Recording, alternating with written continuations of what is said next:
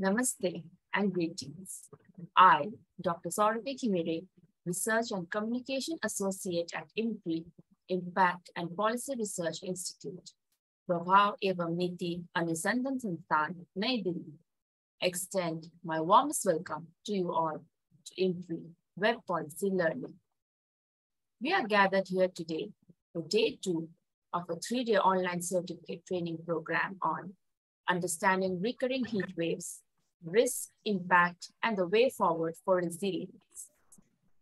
This training course is organized by National Institute of Disaster Management, NIDM, Ministry of Home Affairs, India, and IMPRI Center for Environment, Climate Change, and Sustainable Development, or CECCSD, Impact and Policy Research Institute. The patron for the program is Shri Taj Hassan, IPS Executive Director, NIDM New Delhi.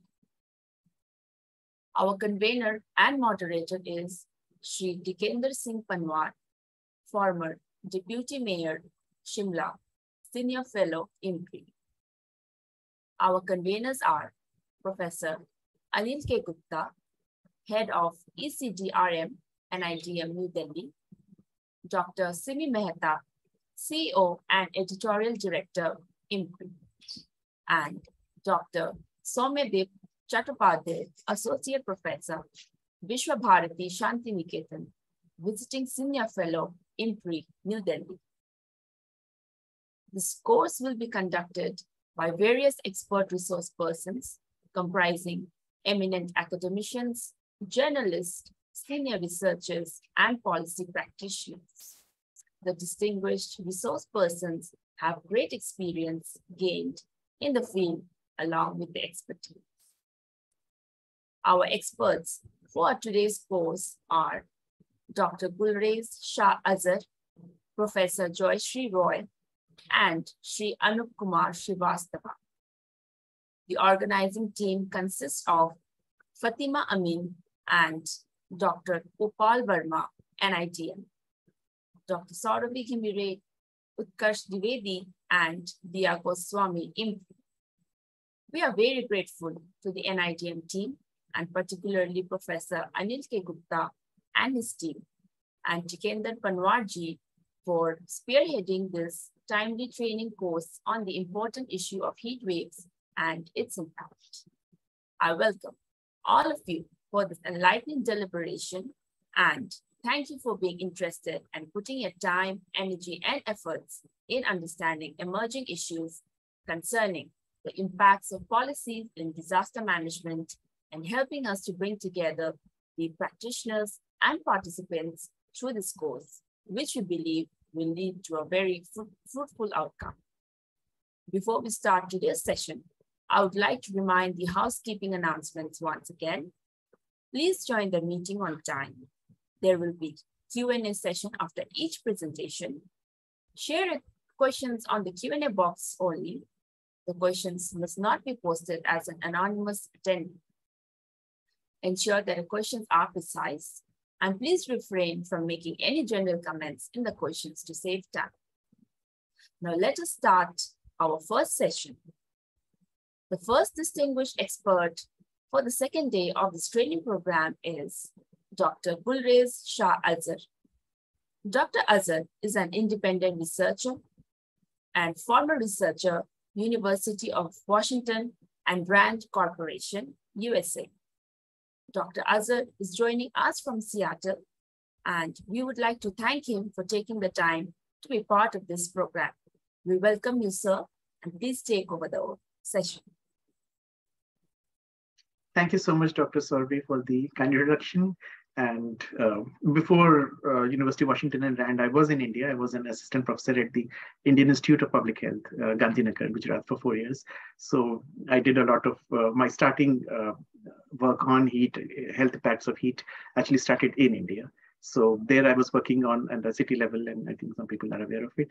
And after that, I moved to the US from 2014. And so I worked as a assistant policy researcher at the RAND Corporation.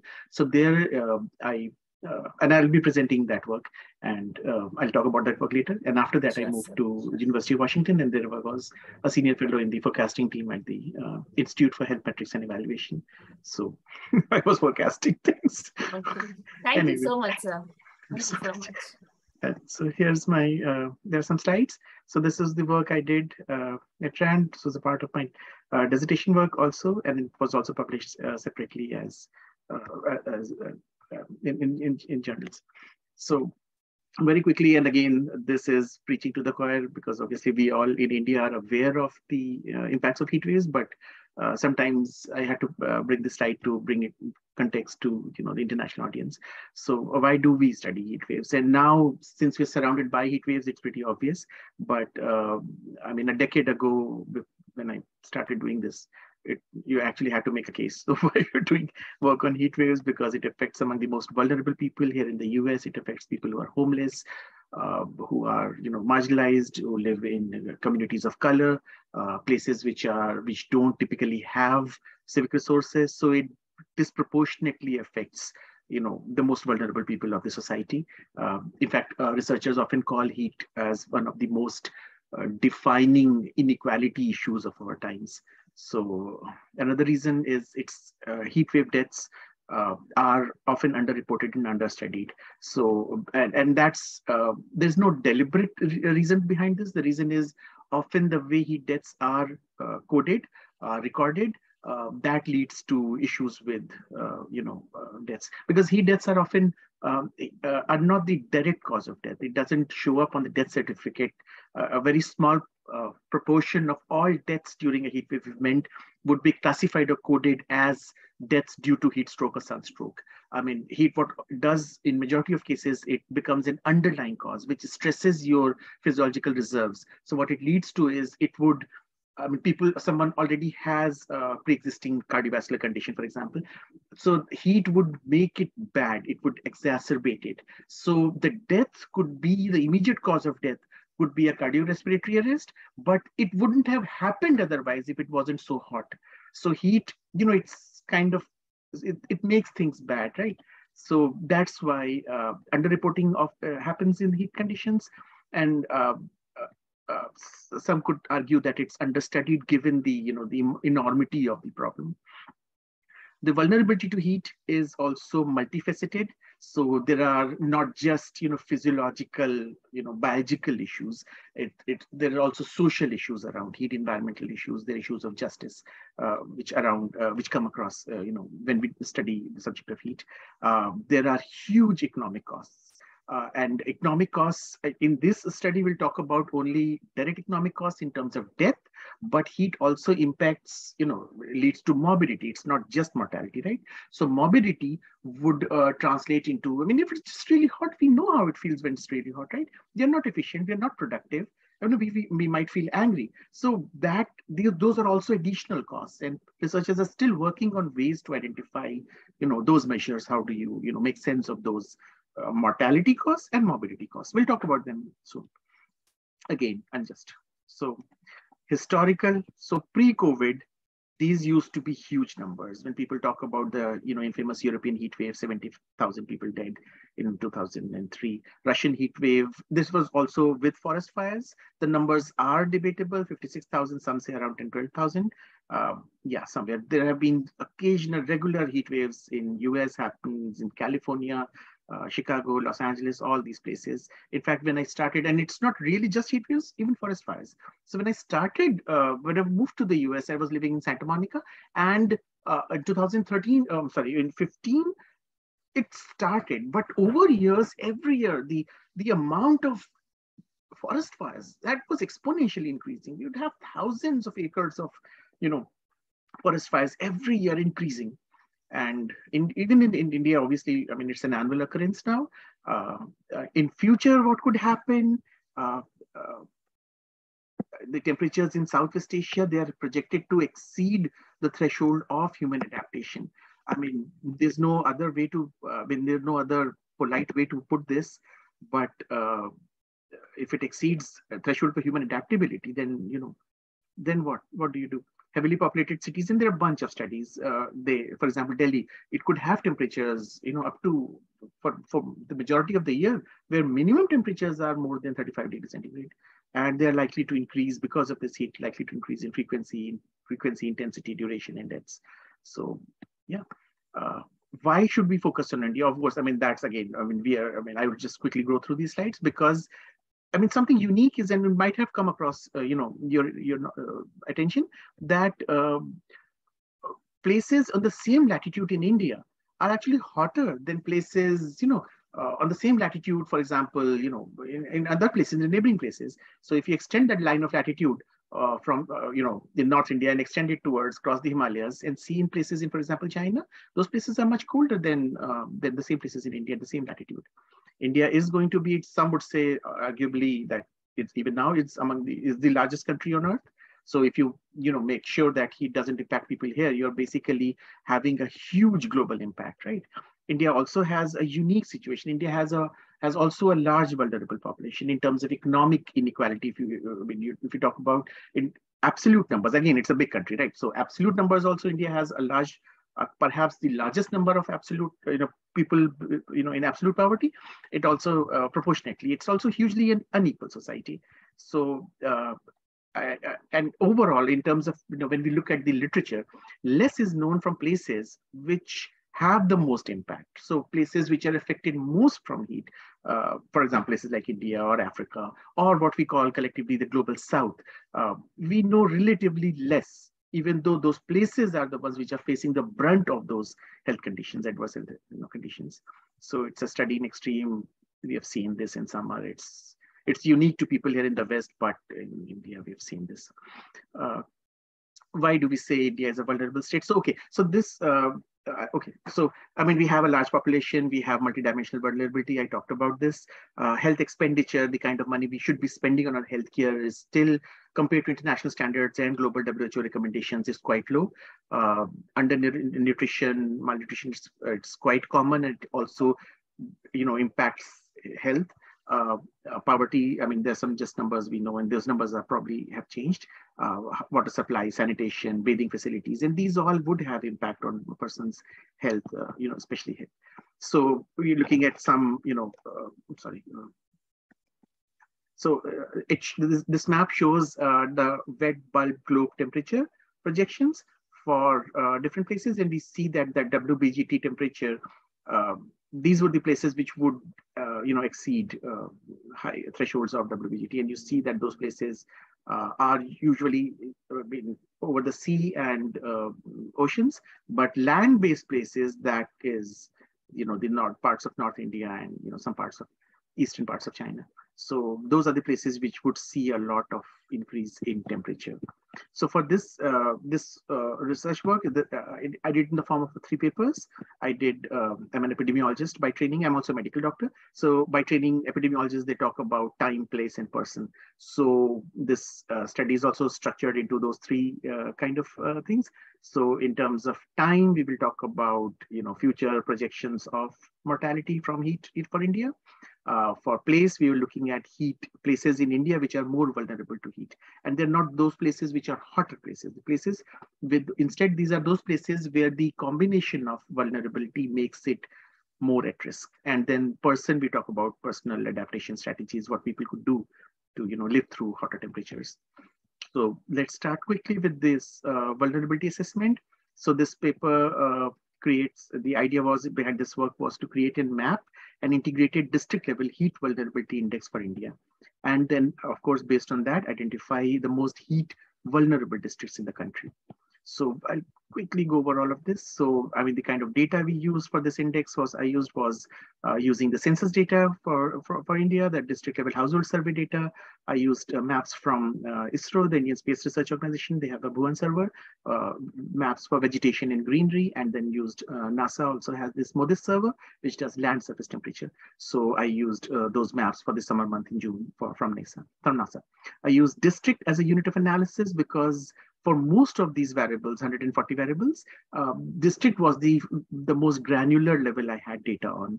I mean, I would have loved to do it at, at a block level or perhaps, you know, urban clusters, but unfortunately not all data was available at that level. Census data was, but not others. Uh, for the analysis, I, as I mentioned, I chose 140 variables in the initial data set based on the published literature. We screened for variables which would have, based on literature, impact on heat vulnerability. Uh, two ind independent reviewers blindly uh, uh, you know, selected those variables and they were included in the final analysis. So the analysis we did was uh, what we call factor analysis or principal component analysis, uh, in which these variables, they cluster around each other based on uh, on these uh, domains, vulnerability domains. So, and then we look for, you know, how strongly we rotate those, you know, clusters and then see which rotation those variables make sense. So in vulnerable, in terms of vulnerability domains, uh, variables would cluster around demographic variables, some variables across about social class, socioeconomic conditions, about household amenities, land cover and population health. And it could be pretty obvious how these individual domains would be affecting uh, health status from heat. So for example, you know, having a land cover, having greenery around you would probably lead to, you know, less local, you know, temperatures, temperature increases. So that is good. Household amenities, so having a cell phone, a radio, a TV, internet, those kinds of things at home is also, you know, uh, uh, not just you know you're uh, available to receive health messaging but also show some kind of you know economic uh, you know uh, angle to this. So then if you are if you have better economic situation, you are less vulnerable to heat, those kind of things. So this is how these variables cluster around uh, in, uh, when we do this. So of course, I mean, the steps we're using Stata, I used QGIS because it was, uh, you know, uh, and merged census data. We com combined all these different sources of data together into one, clean, remove duplicates, missing data was substituted with state averages, calculated some estimates, correlation coefficients, uh, calculated z-scores, because again, the range for each of these variables would vary, right? So, you know, age would vary between, for example, 0 to 100 versus, uh, you know, vegetation index would vary from 0 to 155 based on the colors, pixel colors or something. So then, you know, bring all of them in one scale, bring all of them in one direction. So for example, you know, um, so, so that, you know, increasing value of that variable would mean increased vulnerability, right? So we would uh, put them all in the same scale, we will put them all in the same direction. Then we do the principal component analysis. We do the very try out different rotations. Varimax did seem to make sense. How do I know my analysis is okay? So there are different tests which we do on those. So there is one called KMO test. There's a Kaiser criteria, Kaiser Meyer Olkin test. We do what they call a scree plot, and then we do this, you know, eigenvalues. We do a cutoff line, all of that, and then we summate. So basically, get to these domains. So we decide, okay, these these four clusters are most are statistically significant. Other clusters don't impact heat vulnerability. So then we have those individual cluster schools, we add them. And we add them because, you know, uh, I mean, that's the more simple, I mean, with models you say you do the simple thing. Otherwise you can have another relationships. And then, you know, we do, we categorize them in terms of extreme values based on standard deviations. So if things are, for example, more than two standard deviation would be very high, less than uh, one to two standard deviation high, or high normal, low normal, you know, low, very low. So that's how. So for example, uh, uh, this based on this calculating this heat index, uh, and this is not that map, right? So this map is for uh, land surface temperature, right? So think of this map as an exposure map. So which place is this from NASA's MODIS data set, overlaid a shapefile of India by district. I think it's by block and then by districts perhaps. And then look at which places are, you know, hottest in mid-June, right? So you see this. And then this is the heat vulnerability index for the India, for, for the country. And you kind of see that there is an overlap. There are, but there is not an absolute one-on-one -on -one overlap correlation. Again, because interestingly, if you think about this, if people who are used to living in hotter areas may not necessarily be affected as much from higher temperatures because they use they're adapted to those higher temperatures right? So that's why when you do a heat vulnerability index for a large geographical area you typically do not include heat as a temperature as an exposure variable in the index itself right? So again, so what we see with this index is based on that score that parts of, for example, centers, central parts of the country are more at risk. You, of course, some districts in the state of Rajasthan, Maharashtra, Chhattisgarh, you know, Jharkhand, these are the, then there are individual districts based on their individual, you know, the variables, the values of individual variables which are for these districts. So the availability of healthcare services, greenery, education, income, employment rates, all of those, whichever variables have gone into that index. So they would affect and together, you know, determine the vulnerability of the uh, I'm gonna apologize for the map because I mean it's based on the shape files which are available internationally. So so this is the map. So what is something to keep in mind with this is that uh, this is a relative ranking of heat wave vulnerability for all districts, right? So absolute terms, India is at a really high risk, but between all these districts, we can see which districts are at a higher risk versus which are at a lower risk uh, high and very high heat vulnerability districts are in the central parts of the country, as I said. Variables with greater correlation could be starting points for framing local adaptation strategies. So which some variables would have a very high correlation with, uh, for example, you know, rural area or being living in an urban area, for example. So then you can think of interventions which are targeted in those for those variables. And, you know, uh, yeah. So this was the heat vulnerability index. Then I go, uh, the second paper, it talks about uh, the mortality estimation for India. This is a very, uh, sorry, not working. Oops, Oops sorry. Uh, for some reason, I just suddenly skipped uh, slides. Okay, so we did the heat index, then let's, yeah, so mortality estimates. So for this uh, work, I did uh, the, uh, the idea was to estimate future heat wave deaths under different climate change scenarios. So we're talking about these representative concentration pathways, the four IC, IPCC scenarios, so RCP 2.6. I'll come to them later. And then for the second effort uh, was the estimate direct economic costs associated with these deaths. Remember, I mentioned something about direct costs. So you could value, you know, statistical life. So it's easier to value mor mortality because it's an absolute, you know, either you're alive or you're dead. And so you can cost out uh, morbidity costing is difficult and we still need to you know do that. Anyway so for this study how uh, how i go ahead. I looked at data death data from india and there are several sources of data uh, death data for the country. So we have the national disaster management authority obviously the annual you know report comes in national crime records bureau has data had data from 2010 2014 uh, not 10 to 14 i think it was nine uh, for 14 year period uh, that there is this European uh, disaster data set called EMDAT. It's based in Belgium. They have some uh, reported deaths for uh, different disasters for different countries. Uh, there are published articles in scientific journals, like I think it was Current Science, by you know researchers working in the Institute of Tropical Meteorology or Meteorological Department, who often publish you know time series of annual deaths temperatures I could access through uh, the World Bank. They have this climate data portal. So they have you know recorded past temperatures, the World Meteorological Organization, uh, multiple sources of data, right? Population and mortality, interestingly, um, I used United Nations population projections and interestingly, on a side note, I later on did work on UN, on, on not UN, on, on IHME's global population projections. So it was interesting. Anyway, so we used uh, population data from uh, the United Nations. And obviously the, the analysis was, some of it was descriptive analysis, calculated different kinds of indices. Uh, then second stage was then looking at, descriptives is basically just plot and see if data makes sense and stuff. Then looking at uh, exposure response functions. So I tried out different models. Uh, the most sensible models here, uh, which I used in the analysis were Poisson regressions and negative binomial models because this is count data.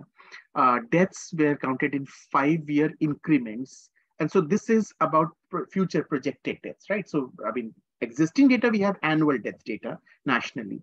But uh, for projections, I did it in a you know in a five-year in increments because I mean I just didn't have enough computing power to do it like at a more granular level. I ended up doing similar work later on with but at the time, not at the time.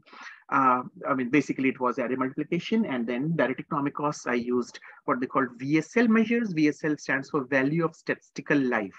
So this is a uh, uh, this is a work by uh, health economist, I think Viscusi et al. So the values uh, are, uh, uh, it's hard to say valuing life, but they, they provide a measure. So it's easier for insurance companies or uh, the government to make decisions. So, for example, Department of Transportation in the U.S. Uh, values and uh, one a human life in the U.S. around somewhere around at the time when I did it was 7.2 million dollars. I think it's currently now nine million dollars. And I mean numbers in the same range are used by uh, you know, EP, the Environmental Protection Agency, the Food and Drug Administration, the other, you know, American agencies. Similarly, you have different values for other countries. So India also has, I mean, so in those tables, published tables, we you have values for, you know, different countries, including India. Anyway, so these are some uh, temperatures. So this is mean temperatures by month. So you see dots are outliers. So you see these are box plots, obviously. So you see the highest temperatures are in the months of, and we know that, right? So it's May and uh, June. April is also pretty high. July is even high, but we know like monsoon happens in, and so it cools down a little. These are the official heat wave death numbers uh, published from the National Disaster Management Authority numbers. So we do see a trend line, even though the numbers are on seem to be on the lower end, but there is a trend line which shows increasing temperatures over the increasing deaths over the years. Uh, this is data from National Crime Records Bureau and disaggregated by age groups. And some interesting findings here are that people in the in the economically productive age group, but on the higher higher end, so 45 to 60 year old age group, they seem to have the largest number of you know deaths uh, over the years across all years. So heat is, I mean, in, in the literature, what we see is heat deaths, heat wave deaths show a U-shaped distribution. So it's either the very young children or it's the elderly who die more. But India, it's killing off um, you know, people in the productive age groups. Perhaps the nature of work because half of our workforce works in agriculture related occupations. So perhaps it's the nature of work or perhaps deaths in this age groups are uh, reported more often. Uh, yeah. Similarly, with male and female, we see obviously higher number of male deaths happening. Uh, yeah. Uh, so now these are the projected deaths based on the exposure response. I did not show the tables for ER functions for I did a bunch of, you know, uh, regressions looking at, you know, uh, mid, uh, summer temperatures, annual temperatures. Uh, I had multiple definitions of summer temperatures, so monthly maximum, bunch of all of them. But you know, based on you know all of those tests, I just I simplified this analysis. So this is what we are seeing. So if we are on the RCP 8.5 scenario, we are likely to see by end of the century almost you know 80,000, 90,000 uh, excess annual deaths direct from heat every year. Uh, uh, yeah. So, and again, so if you, uh, this uh, projected deaths cal uh, I calculated not from the NDMA or the reported deaths. We I used estimates of current heat deaths from uh, IHME, the Institute for Health Metrics and Evaluation. They publish what they call the Global Burden of Disease Study. So I used I, uh, IHME estimates to project them in the future for, for the deaths. Uh, I ended up, after my PhD, I ended up working at IHME. So I then started calculating those projections. anyway, so I mean, across all scenarios, uh, we would see an increase in deaths, right? So if we have, and those projections are based on the current estimates. So if we have, you know, better estimates or higher estimates, the future projections are also likely to, but they are going to increase, no doubt. If you put an economic cost to it, so I mean, yeah, uh, I'll come to the cost later. So you could uh, see different uh, Actually, this video overlaps my slide, so I actually can't see half of my slide. so, so you see that in the median uh, population projection scenario for, I did it for like, for example, I mean, there was this bunch of numbers, so sure, you know, clarify them. So it's 2025, 2050, 2075, and 1000, end of the century. So for the median population growth scenario, we would see uh, uh, uh somewhere around, I mean, these numbers are deaths, so around 84,000 excess deaths in 2000 it does go down if you, I mean, it plateaus around 2075. And what we, this is because population of the country itself plateaus and then goes down later. So even though the proportion of death increases because the temperature increases, because the denominator, the population goes, plateaus and starts to go down, and in the later projections, which I myself did at IHME, I mean, uh, we realized that India is likely to stabilize in 2042, I think. So, uh, so that's why we are seeing uh, the plateauing of deaths. It's not because it's becoming colder, it's just because the baseline population starts to go down. But if you do this uh, death analysis for age groups, it would be interesting because the age pyramid would then, you know, flip. So, right, it would become unstable. So in that case, you would probably see higher deaths in elderly age groups. And because the proportion of elderly would be more, you would probably see uh, increased death. So we, of course, need to do more studies on, on this topic. Yeah, sorry. So yeah, that's pretty much, I mean, I just showed all cause deaths, population estimates, bunch of numbers.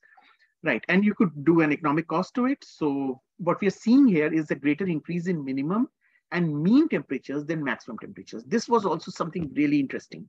And, and when researchers use the word interesting, that's, you know, interesting. So because uh, with, with, you know, continuous days of hotter temperatures, your body doesn't even get a chance to cool down. So you know, when you have several days of higher temperatures, you're likely to see a higher, and that's what we're seeing, that those temperature increases are actually more for minimum temperatures than maximum temperatures. Uh, we are seeing a decreasing range in temperatures. Uh, that's, as I said, there is no respite at night and people are unable to control their thermal environment. They are more vulnerable. So if someone is elderly or, you know, bedridden or, you know, especially able, those kind of people, they are at risk. Uh, you know, so I said 84,000 excess deaths. And if you put an economic cost to it, that ranges between 13 to 23 billion US dollars for Indian deaths. So there is a considerable uncertainty around these numbers. This is a simple, you know, projection exercise because we don't really have really clear estimates right now.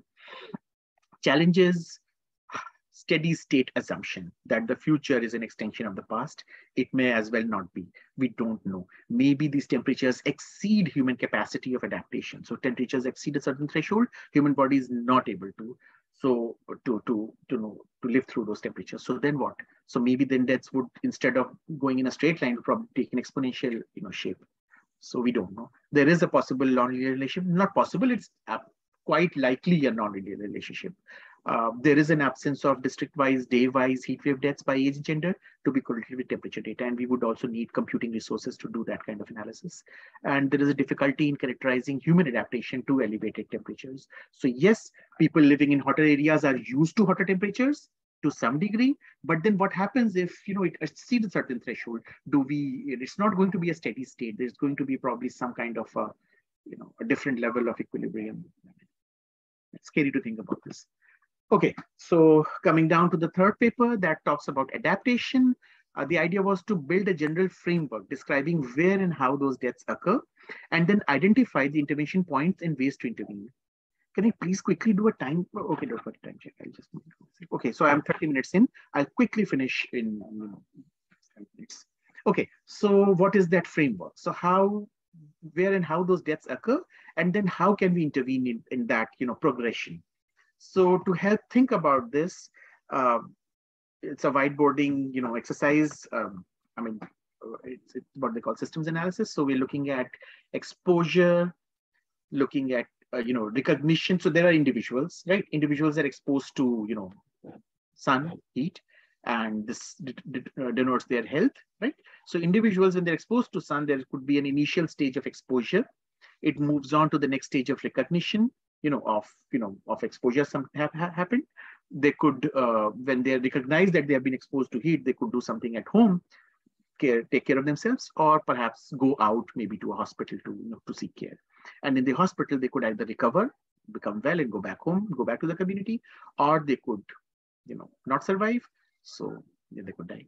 So they, then when you study, uh, you know, public health, if you study, you know, uh, preventive medicine, we talk about this, the idea of natural history of disease, right? And so based on the natural history of the disease, you could also think of levels of prevention. So you could do a primordial prevention so that you don't even allow that exposure to happen, right? You could do a primary prevention, which is, you know, you at the risk factor level. You could do a secondary prevention, which is basically treatment, or you could do tertiary prevention, which is basically limiting these complications which has happened. So now I'm thinking of this flow you could model it. I mean, it could also look like some kind of an agent-based, not agent-based, uh, compartmental model. But yeah, let's let's go ahead. Yeah. So what did I? This study was qualitative. So I did semi-structured interviews with uh, subject matter experts in India and abroad, but who dealt with South Asian and Indian heatwave issues. And they included a wide spectrum of people. I reached out to a lot of people, uh, academics, climate health researchers, medical doctors, community activists, urban health plans, lawyers, policy advisors, all kind of people had a bunch of thematic questions and those questions were on the perceived you know uh, just one second, uh, scope of the problem, the everyday lived experiences of people, uh, exposure, how to, do, you know, uh, recognize in-house and out-house care, subgroups. Are there any groups which are, which the people think or experts think are at a higher risk? For example, I mean, think of, uh, for example, women. So the way things are in India, uh, you know, quite a number of households don't have you know are classified as slum households right? So for example in ahmedabad it was like official census number says 9% officially uh, SEWA report says around 25% a quarter of households. Bombay perhaps a lot large number of households are some slum households. So by definition they wouldn't have a separate kitchen right? So they would be using you know cow dung caves or you know wood shavings or wood or some cases, of course, gas, cooking gas, but they're cooking inside, right? So it, it heats up the indoor environment. The dresses women wear, sari and petticoat and all of that, that traps heat in, on the inside. Not having an indoor toilet means that women, uh, you know, they can't go out and relieve themselves if they don't have an indoor toilet, right? So which means that they would avoid drinking a lot of water so that they don't have to go out frequently to relieve themselves. Not having an indoor shower means they can't really take a shower, right? There's no privacy, you can't take a shower. So then are what are those subgroups you know people with pre-existing medical conditions disability gender wise age group elderly? So what are those you know subgroups? So who are at risk from uh, from from heat then moving on to uh, so these are the responses. And again i mean a lot of this is we, we obviously intuitively know.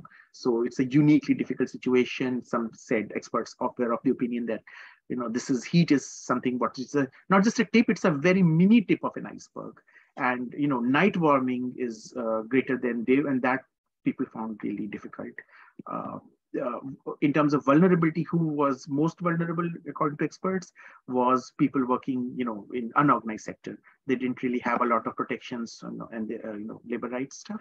So unorganized sector, rural and urban poor people, uh, agricultural landscape, their studies. Some of them are controversial. There was this study in Proceedings of National Academy of Sciences, which talks about farmer suicides with increasing temperatures. So I think for one degree rising temperature, they project around at 17,000 something excess farmer suicides. Uh, uh, air conditioning often is in, unaffordable. I mean, for example, I, am from Lucknow, UP. So per capita income from my state is uh, a $1,000, right? So and I know households often don't have a power connection or regular power supply or the ability to buy air conditioning or to pay for the increased power bills which will come with regular use of air conditioning. So then, you know, there's a discrepancy or there is a wide spectrum of, you know, vulnerability. Some not everyone can afford an air conditioning. Urban infrastructure often is there or lacking. Uh, we talked about women issues separately, other issues of elderly, sick. I worked in Gujarat. Often I saw, you know, uh, construction workers and laborers coming from far off states, for example, Jharkhand, Chhattisgarh, Odisha. Um, they didn't even speak the local language. They didn't really have local connections or networks. So working on you know construction sites in the day and then you know uh, at night, it's it's it's it's a difficult life. Uh, so consequences, how people described was you know um, uh, often it was just about survival, somehow to stay alive. You know, it's like being in an oven every day, one day at a time. The goal is to live through that day. Medical effects documented, and other studies. Some studies I myself did it, uh, one study in Ahmedabad, where we noticed almost 10% of the construction of the uh, you know worker population complained of uh, medical uh, condition on any day, any single day you do, you go and work. Not here, but like some other study. I, I myself did it. So heat cramps, heat stroke, heat exhaustion, all of that So pre-existing conditions. Prime, secondary and tertiary effects were on decreased productivity, on you know infrastructural impacts. There's a very polite way of saying that. You know, for example, if you're a construction worker, you're worker working in a manufacturing setting, right? It's really hot, right? So often workers would not be really keen on wearing protective you know gloves and caps and hard hats and you know jackets because it's already so hot. So you know that leads to an increase in percentage in, in accidents or you know work site. So it, it's not just heat deaths. Heat worsens a lot of other things. So you have to start to think of heat as some kind of a systemic you know problem. And you know chronic diseases chronic kidney disease for example or you know dehydration or it worsens many pre-existing conditions.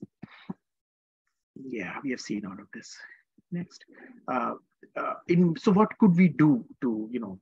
Uh, so we could think of interventions at different levels. You could do inter individual interventions, you could do community interventions, or you could do federal interventions, large scale, national, international interventions. So what we could do at intervention, and this is just really simplistic. I mean, if you go into detail, I'll show you a graph. I'll not read through. I promise I will not read through that huge this one.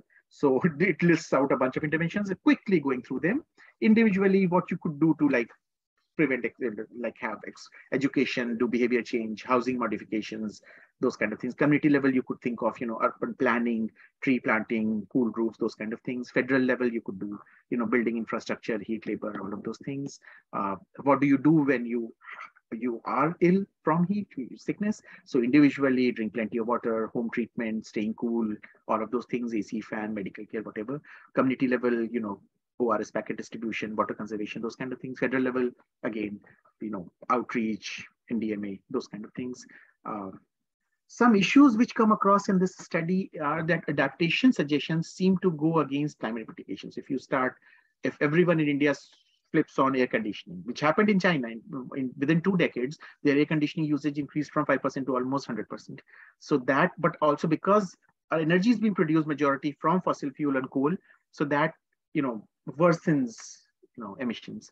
Uh, so the challenge is to find win-win and you know not everything is that sad is, is that depressing because like if you step back and think about this for a second i was the first person in my family to use to benefit from air conditioning my father was the first person in my in his family to to ever use electric fan right but parts of uttar pradesh and bihar and you know these have been since millennia uh, you know, quite densely populated, uh, you know, parts of the country. And India itself has historically been, and even now, like uh, the largest country by population. So I'm sure there are ways, there have been ways where people live through since millennia, centuries with in, in high temperatures.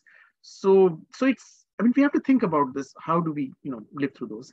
So the policy implications in terms of navigation is the last slide I promise, is where and when to focus. Some parts of the country will be affected more than others. I showed in the heat hotspot, the heat index.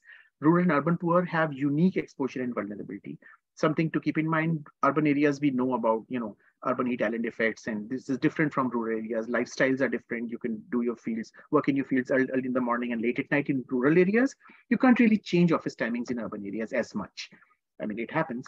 Uh, males in the working age group I highlighted are dying more. Deaths will increase in the future and plateau out and I explained why.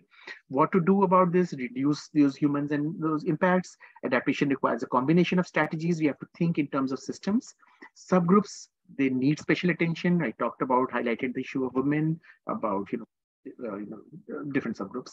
And also a lot of bottoms up ethnographic research is needed because or maybe this is my own blindness where i come from my training is in medicine public health. I did my MBBS, MD in community medicine. I did a fellowship in industrial health, uh, MPH in public health, uh, post uh, MPhil and PhD in public policy. But I was approaching this from a very quantitative angle. So I haven't, but I've looked for, and I haven't really found a lot of ethnographic research on heat.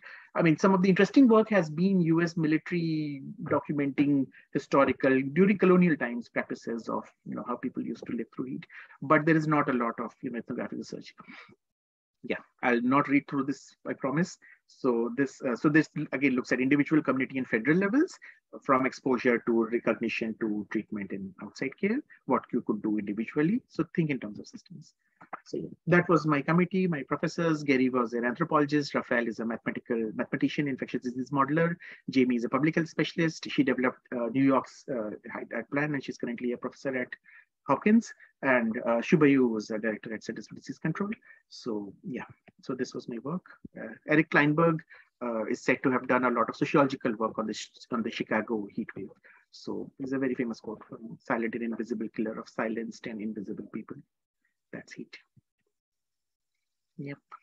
So yeah, that's all I had to say. Yeah, thank you. I don't want to go through blackout slides. so yeah, thank should I switch off the yes, screen share? Uh, thank you so much, sir, uh, for your uh, enlightening presentation. And now uh, we will take some questions. So there are a couple of questions in the Q&A box. The first question is by Prakash G.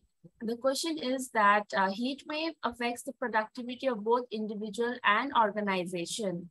And what should the uh, corporate sector do about it in order to uh, uh, gear up for this increasing peril? I mean, there again. So first point, which I try to remind people over and over again, is that when you think of heat, don't think it, uh, think of it, think in terms of systems, right? Larger, think in terms of a systems perspective, right? So what could be done? I mean, you could start thinking of everything about a worker's health in terms of you know if you do this industrial health approach you know so then you're looking at work site. You would make sure that you know there, there is an ambient temperature where people are working. Uh, you know you make sure that you know availability of water or taking rest that is available there locally on the work site. There are worker wellness programs. You could measure on-site temperatures in real time. There are these uh, in, in, the US, there used to be what they call, I think they've changed.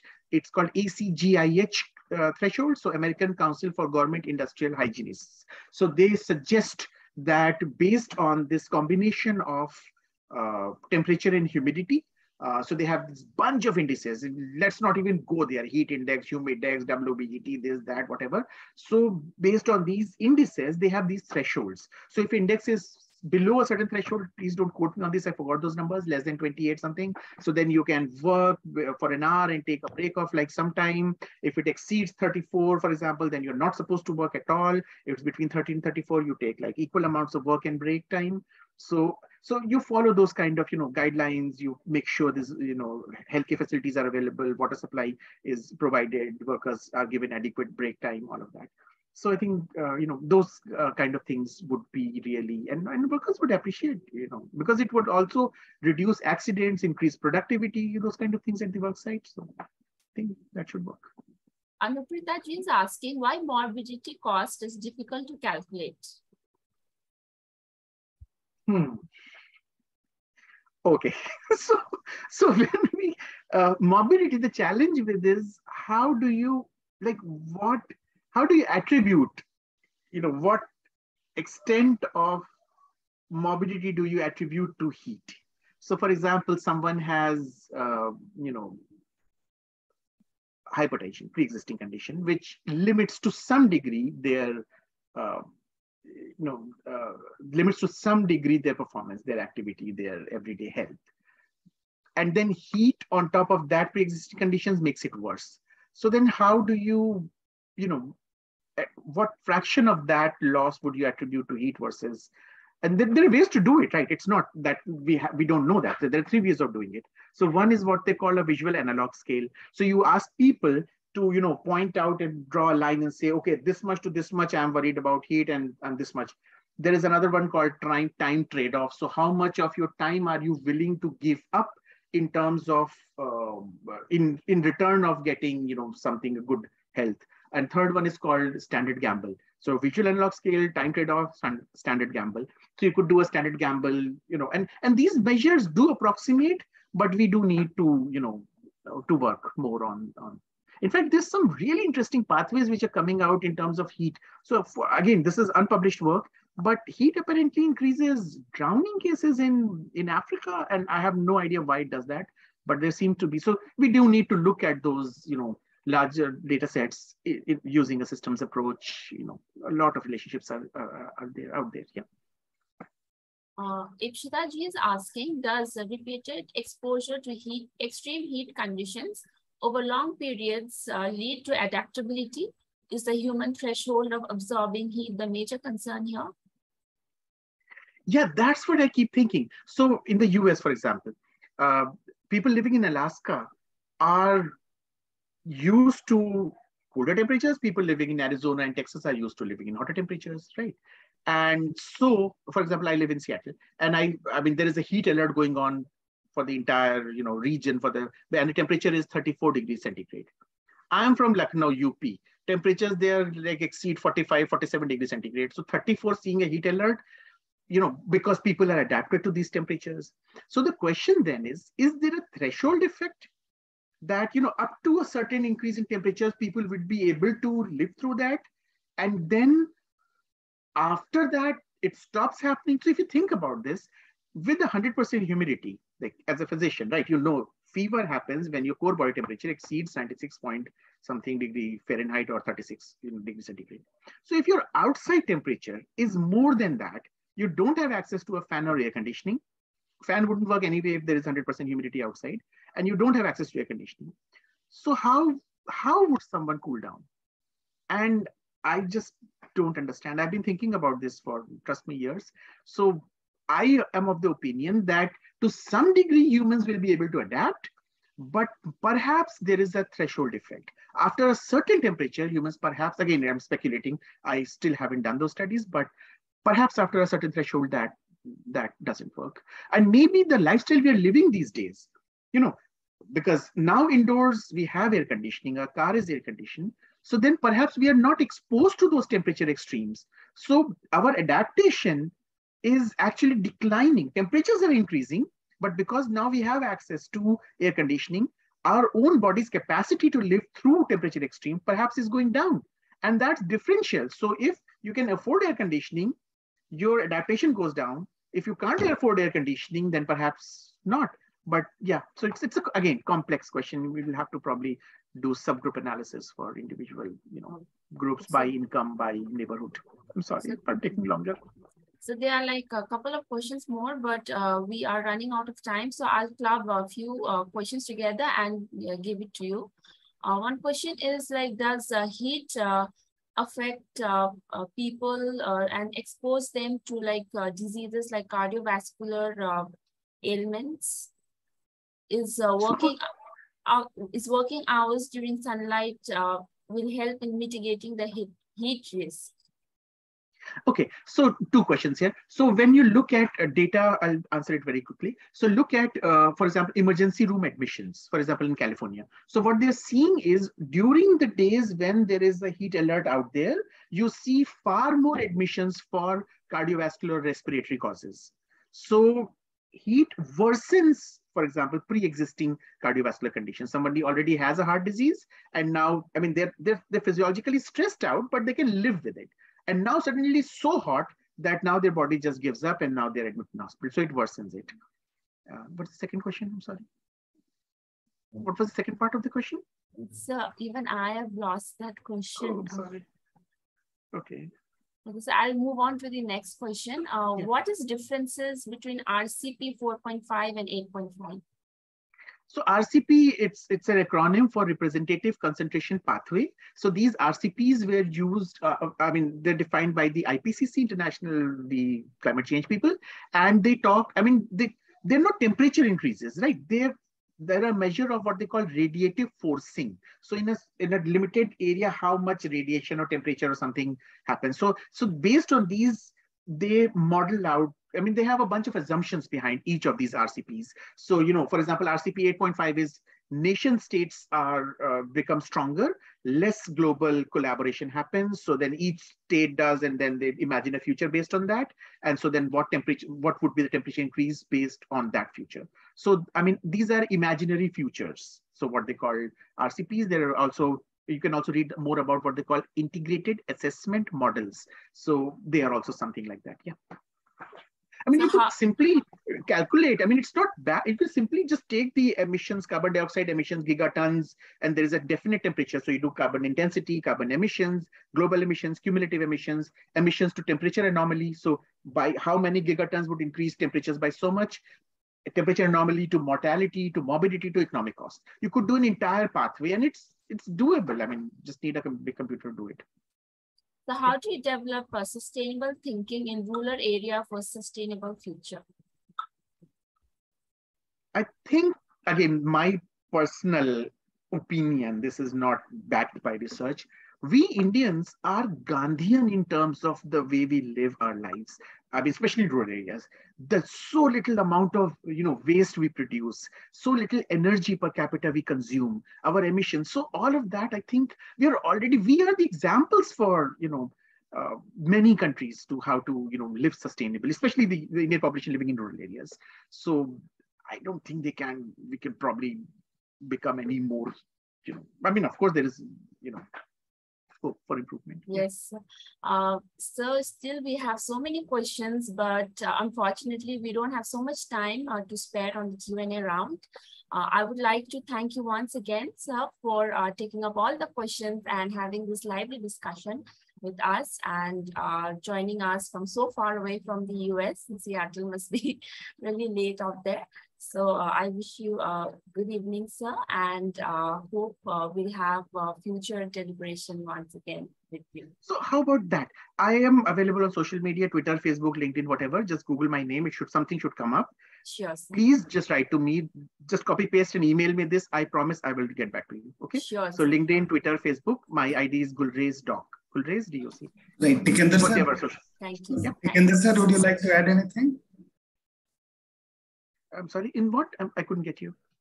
Thank you. Yeah, thank you, uh, Dr. Gulrez. It was really fascinating to. Thank you. Uh, uh, for I mean, to you uh, have uh, in this panel and you know to start the day with your presentation. Um, I think uh, probably what we can do, Dr. Survey, is all the questions we can just mail it to Dr. Gulrez so that yes, he can sir. reply it on the uh, you know, uh, maybe on the chat box or so that we are able to respond to the participants because I'm so happy that you know there's a large number of participants who are attending this uh, webinar right since yesterday yes.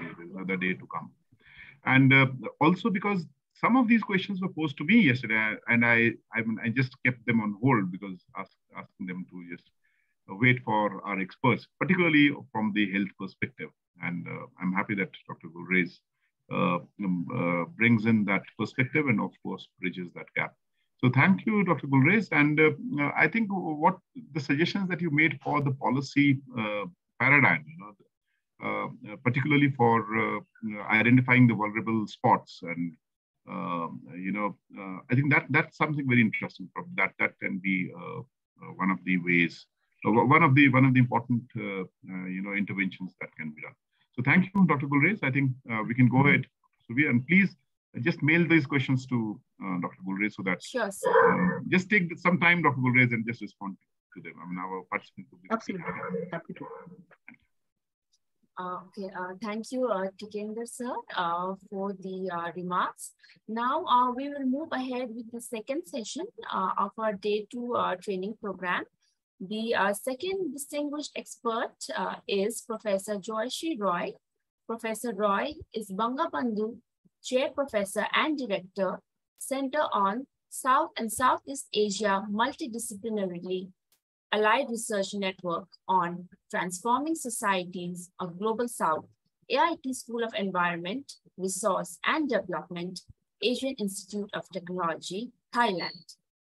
Ma'am is joining us from Bang Bangkok. We welcome you, ma'am, to this program.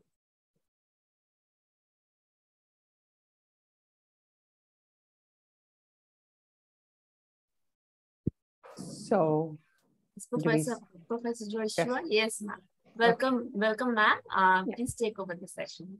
Thank you very much for introducing me. And I was also listening to the earlier um, speaker. So some of it might be uh, overlapping, but sometimes we say in research, multiple views on a particular um, finding strengthens uh, the um, results or strengthens uh, the, um, the conclusions. So I think, I mean, even if there are some overlaps with what uh, uh, Dr. Gulrez said, but it will be, I hope, it will be useful. So let me share the screen and what I what I'm going to uh, talk about today is um, uh, with the uh, with rising heat stress, how the health risk is increasing and how we need to be thinking about uh, the um, health service provision in India. So I'll try to focus more on Indian perspective. I'll try to focus more on Indian perspective and um, let me proceed with that. But then I start with the um, global uh, consideration because what we need to understand is that this climate system and climate variability are a global phenomena so the temperature is uh, how the global atmosphere behaves. So it's just not about a national perspective. So we need to understand that climate conversation is now at the point where we are talking at a time when we are living in 1.1 degree warmer world compared to the pre-industrial level. This uh, has been established scientifically with confidence by the India um, Intergovernment Panel on Climate Change, IPCC, in its latest report, which mm, uh, published in this year. So uh, what we are saying is that in IPCC report that now, because we are already in a warmer world, so every bit, bit of additional warming will matter. And every year, if it is rising, that will also matter. And so how do we make our choices about our action would even more um, important. So the whole discussion is that how can we accelerate the climate action so that, uh, which is very critical to the sustainable development, keeping this generation and coming generation in view. We also know from the latest IPCC report that how different ecosystems are how different um, in, uh, I mean, natural and the managed and the human systems are going to be impacted.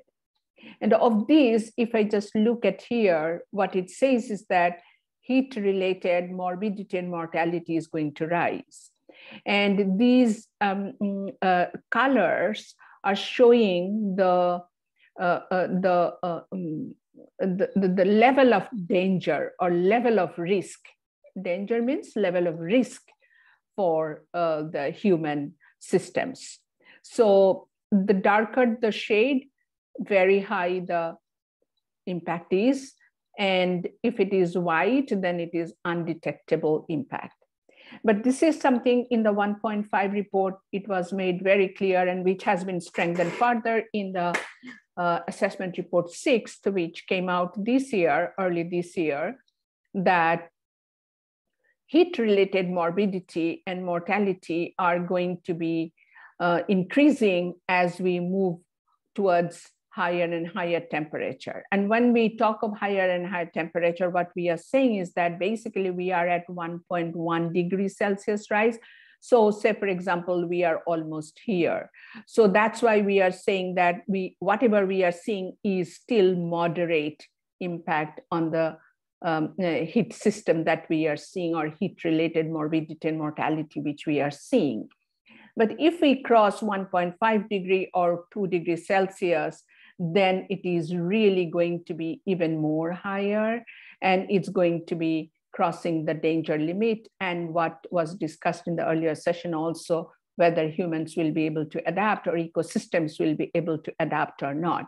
We know that many ecosystems will not be able to adapt so for example, the warm water corals will not be able to adapt even at this uh, temperature rise of 1.1 degree.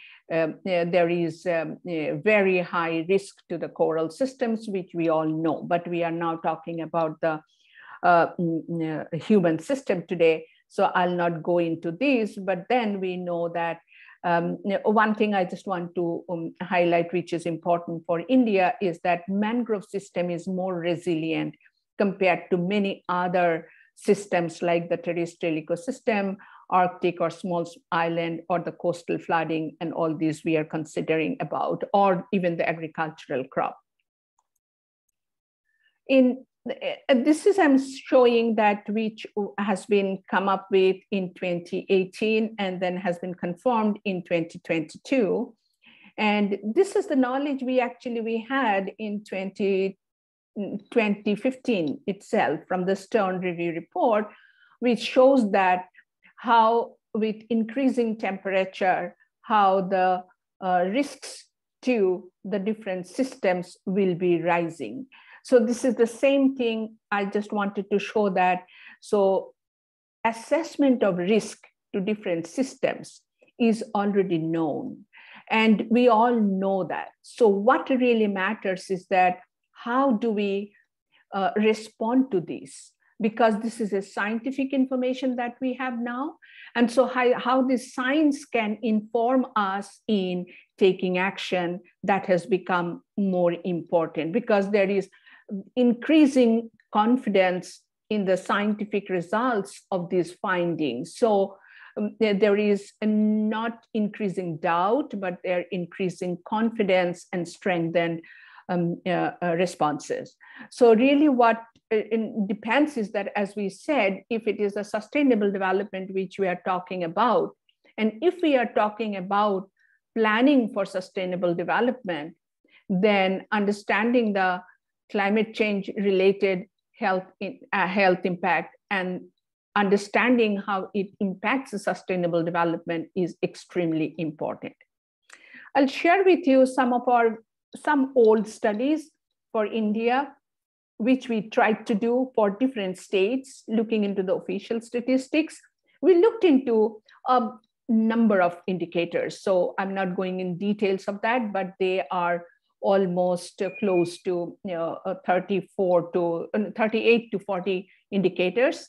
And some of those were categorized under social and environmental and economic, which is a standard following the standard procedure, which is um, done. So we looked into these and then we tried to compare that how these are changing over time and how uh, uh how uh, the, uh, the, the, the, the social dynamics is changing. Social dynamics in the sense that how the social priorities, environmental priorities, and economic priorities are changing over time dynamically, depending on how things are changing, um, you know, I mean, globally also. and we find that the environmental concerns are becoming more and more prominent in many states, although they were also the similar for many other states, but relatively now, although we are trying to solve our social and economic problems, but then environmental problems are becoming more and more prominent. And when we looked into the deeper uh, side of it, I'm just showing one uh, uh, uh, figure for one year, but then what I'm, we are trying to, so we did it decadal. So what it shows is that if we look into these environmental indicators, which of the environmental indicators rank one if we look into the priority in the sense that which indicator is pulling down the sustainable development indicator for India. We found that if we look into these, these are all either diarrhea, or malaria, or uh, heat related diseases. So all these are health related indicators. So basically what we find is that health related indicators are becoming, uh, is really the prominent one which is holding back India's sustainable development. So if we look into that, then what really matters is that if we are really planning for sustainable development for India, we need to focus on health related issues.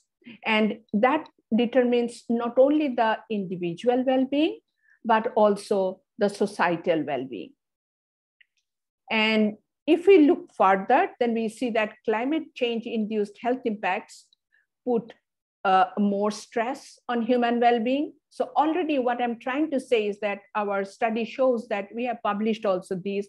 What it shows is that already it is stressed in terms of already the sustainable development programs in India are stressed because of poor performance in the health sector.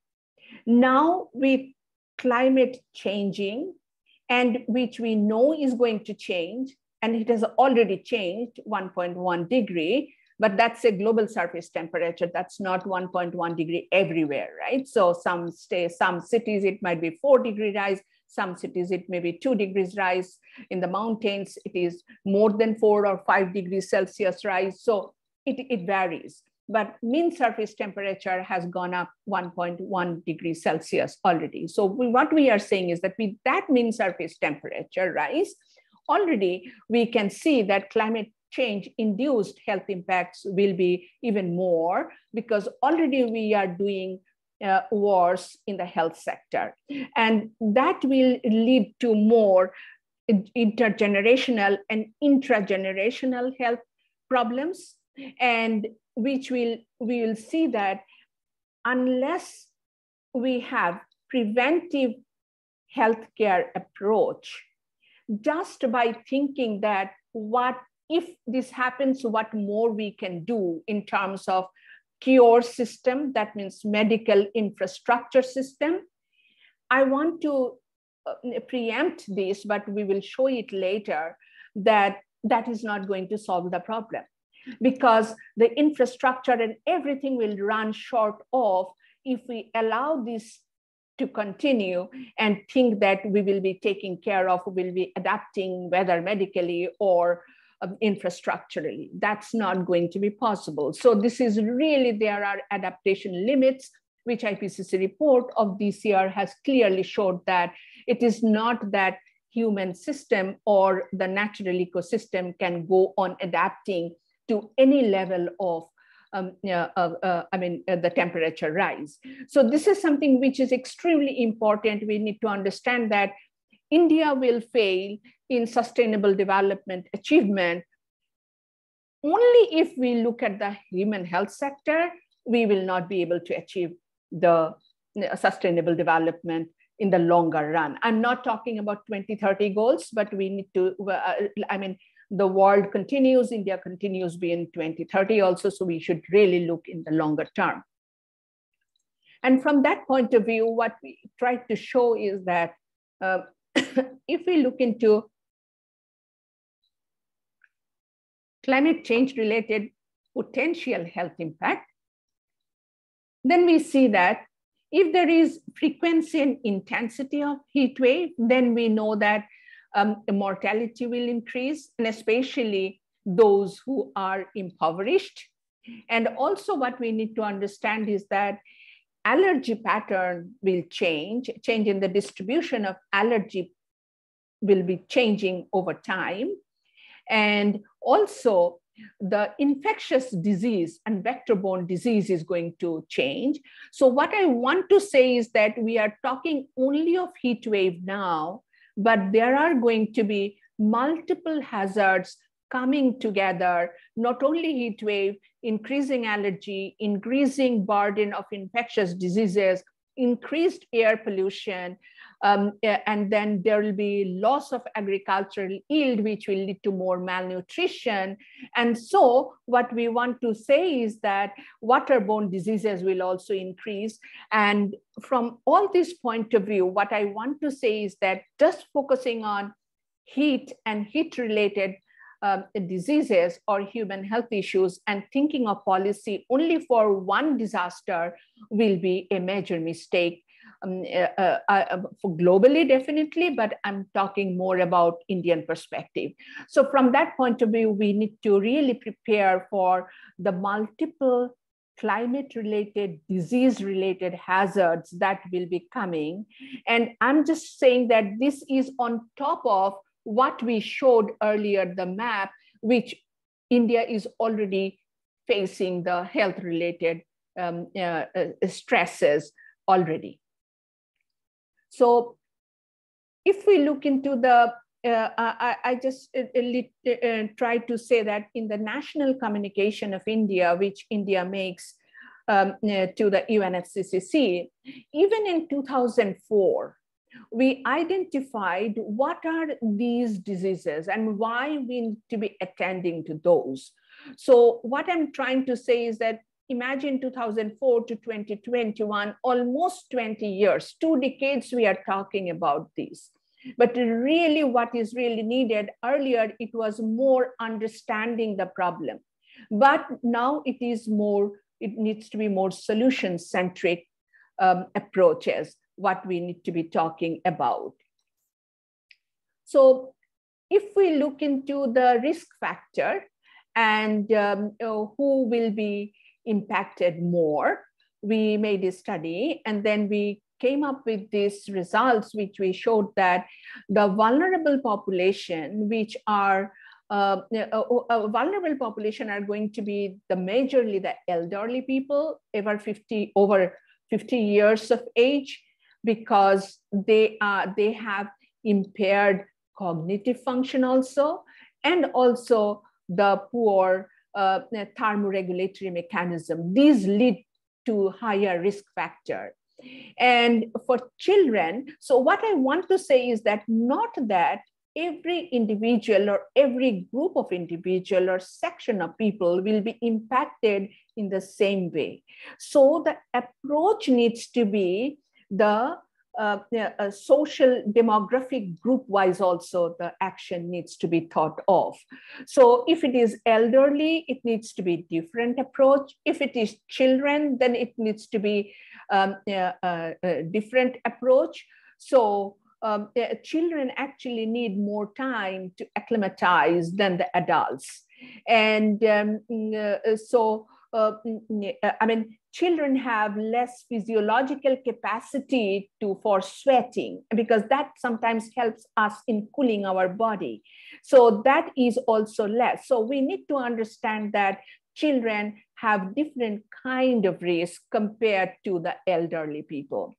And if someone is participating in athletic events, they usually face the problem of dehydration so we need to be um, conscious about how the outdoor sports, outdoor games, in which months and how these needs to be, um, uh, um, I mean, uh, adjusted or adapted with the changing climate. And then also we need to understand that outdoor workers, if you think of our India, then we have huge number of informal sector workers like street vendors, rickshaw pullers, poor and uh, subsistence farmers and pastorals. They really have mm, inadequate cooling off or rest period and insufficient water consumption. So they suffer a lot from dehydration and they have inappropriate clothing and excessive exposure to the mm, outdoor temperature. This really, and on top of that, we do have, as I said, initially I showed you the baseline of India of health uh, situation. So they have already malnutrition and that really leads to uh, a difficult problem. And medically compromised and socially isolated people will have more problem. So we need to be thinking that how different social groups need to be attended or need to be approached in terms of heat related and but i as i said and i repeatedly will say this that it's just not heat but then multiple cascading health related um, danger and the risks which can come from the uh, mm, climate change. And so what we need to understand that impact of heat stress, as I said, demographically it varies, but also it varies occupational category wise. And when we talk of occupational category wise, we actually did a study to do uh, to define uh, human workability. And uh, while um, I mean the wet bulb globe temperature indicator development. So if we have different relative humidity and the temp eh, humidity and the temperature levels, then we can actually draw these. I'm not going in details of this research, but this is already published and a book is going to come out. And where we are trying to show that we can draw actually the combination of humidity and the temperature level and can show what is the 100% workability zone for in, um, uh, human beings and uh, for the outdoor workers what i'm showing now because this can be done for all kind of workers. We have done it but i'm just showing for outdoor workers because i'm concerned that we have more people working outdoors in india and then many other countries. And so uh, their workability zone and 0% work, workability zone. 0% workability zone means you should just lie down. You should not be doing even a little bit of work because that will create your health problem. What we are saying is that it that will lead to some different kind of morbidity, which may not be immediately observable, but will have a long-term impact like diabetic, then also heat cramps and many other heat rashes and many other uh, uh, um, diseases can happen. So, and in between, these are 75%, 50% and 25% working workability zone. So uh, uh, already in many occupation category, say for example, I know that in marine um, uh, um, uh, in the ships, when people travel, there are rules depending on the WBGT index parameter which they measure, they suggest people when they should be taking how much rest and how much time they should be working because that has a health impact and they are all insured. So this has a different meaning, what is going to be the medical cost for them. So there is a whole defined uh, uh, work rest regime uh, defined for them. So what we tried to do, I'm just showing an example. We tried to do actually these for four mega cities of India, uh, Delhi, Mumbai, uh, Chennai and Kolkata. And uh, we took uh, actually 60 years of data from um, Indian Meteorological Department. And then we tried to plot them and tried to see what it means if I take the observed data and then if I define the workability uh, zone.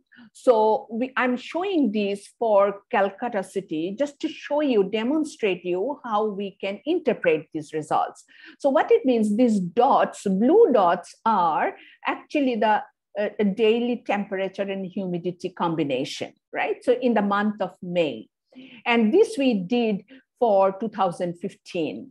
And so we took that data and then we actually updated this later also. And so what we tried, we tried that this is the baseline. That means if we take whole month of May in 2015, then if this is the workability non-workability zone, then these are the dots which shows that actually no one in Kolkata should be working because the all day and night, the temperatures are such that each of these dots fall in the no workability zone without any adaptation, right? So this is the baseline. And then what we tried to do was we gave uh, a different, uh, we uh, made, made various simulations and we tried to give different adaptation. So we are saying that this is only for the outdoor workers. Again, I'm saying we have done it for different categories of occupation categories.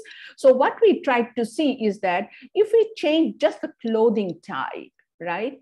And then we see that only two days come to 50. So what, what it means, if you give adaptation, your workability zone moves up. And which means your days come within a work, workability zone, but this is still 25% and 50%, not to the 100%, right? And then we gave even more, right? So we gave indoor workspace to all. If we give indoor, um, uh, okay, I, will give another. So this is suppose we gave shades to the outdoor workers. If we give shade to the outdoor workers, okay, only three days still come in.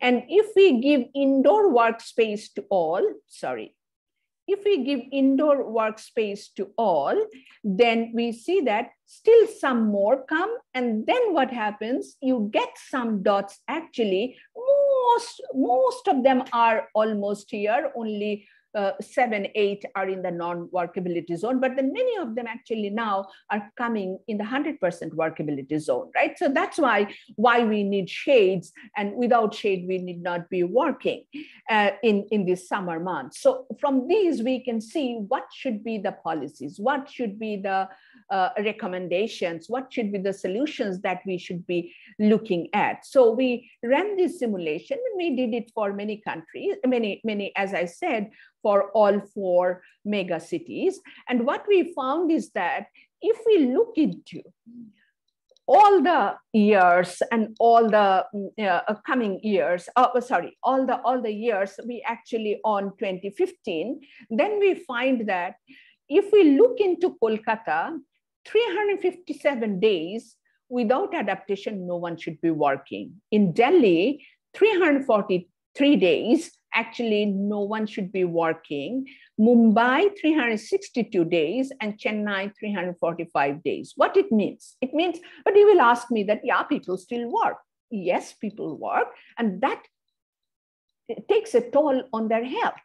And that's why they have several other uh, uh, physiological problems and medical problems, which we do not attribute to heat related stress because we have not thought it in that way because there is dehydration. We just say that okay dehydration. But why dehydration? We never ask that right? So we are not looking into those and so we are not taking right approaches for giving adaptation. So remember these are the baseline. So if we give these adaptation, then there will be some more days where one can be working. But we saw that only when you can have 100% work days for all cities are if you have an air conditioned space. Only if you have an air conditioned space, then only you have 100% workability zone.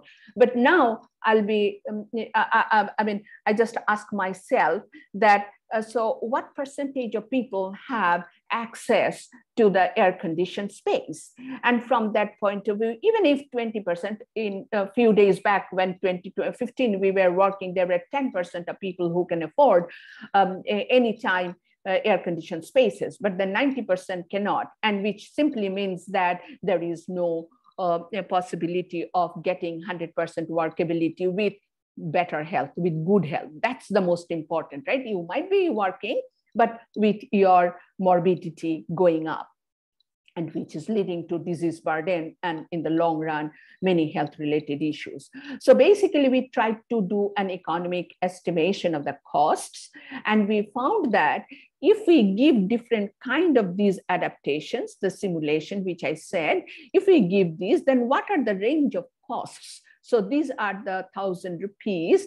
Um, so which means that um, for reduction of 10% or 20% or 100% this is the adapt uh, this is the cost of providing air conditioned space and these are different changes. So what we can do we can think that how different cost ladders are increasing and how much adaptation you can give. But one thing is true by defining dress code in the workplaces, we can actually reduce um, the heat stress. But also, what I want to say is that remember, we are talking of climate change also. So, air conditioning means more emission also because our electricity is not all um, zero carbon electricity. So, basically, there will be even more warming. So, how to bring in adaptation, mitigation, and sustainable development together has become a major, major concern as, as more and more we talk about these heat related uh, issues. And then what we tried to do was this, this work we were actually doing for um, national communication uh, uh, government of India also, and many other uh, research which we had been doing for quite a long time. And so what we tried to do is that we tried to develop a framework that how we need to solve it, right? Because we have to look at the cost of solution also because uh, uh, the finance is not free money is not free and is not affordable. So if you have very costly adaptation strategy, then it will not be um, accessible to everybody. So that's something which is really matter. So what we try to take a conceptual framework is that if we look into these, then basically this direct heat stress, and also I forgot to include one more slide where I we actually did um, a water sample and different months in a year with the uh, increasing heat my, microbial um, uh, interaction increases in the water and the water quality deteriorates. So what, and that's why the waterborne diseases also increases. So what we found is that very interestingly, that if we take some preventive measure so that the exposure itself reduces. What we are talking, vulnerability, when we are talking, we are talking as if let's be exposed, let's suffer, and then let's do something. But what we are saying is that how can we reduce exposure level itself? And that can be a preventive action. So preventive action, for preventive action, we can enter at this point so that the direct heat stress non-communicable disease or the communicable disease, both can be reduced because we know both leads to health damage. They lead to loss of human productivity, human health benefit, and that leads to, leads to uh, a lower human well-being. So we thought that solution can be the, the solution space which we are talking about for very long time. One is preventive care and another one is cure, right? So medical treatment based um, system. So which means that you have a health damage and then you go for cure. So here you need huge infrastructure, hospital bed, hospitalization, appropriate.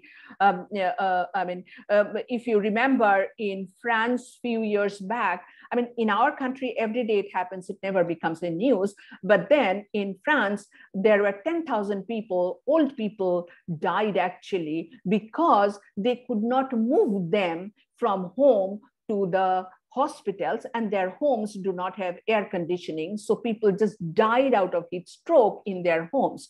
So what it means is that you cannot allow this health damage to happen and then cure because there will be a threshold and which will not be possible for people to adapt at all. So we need to think of prevention and this will be much, our results show that they are much cheaper than the cure measure, but this is something which we need to understand. And our proposal for a very long time are that we really need to think of national preventive healthcare mission.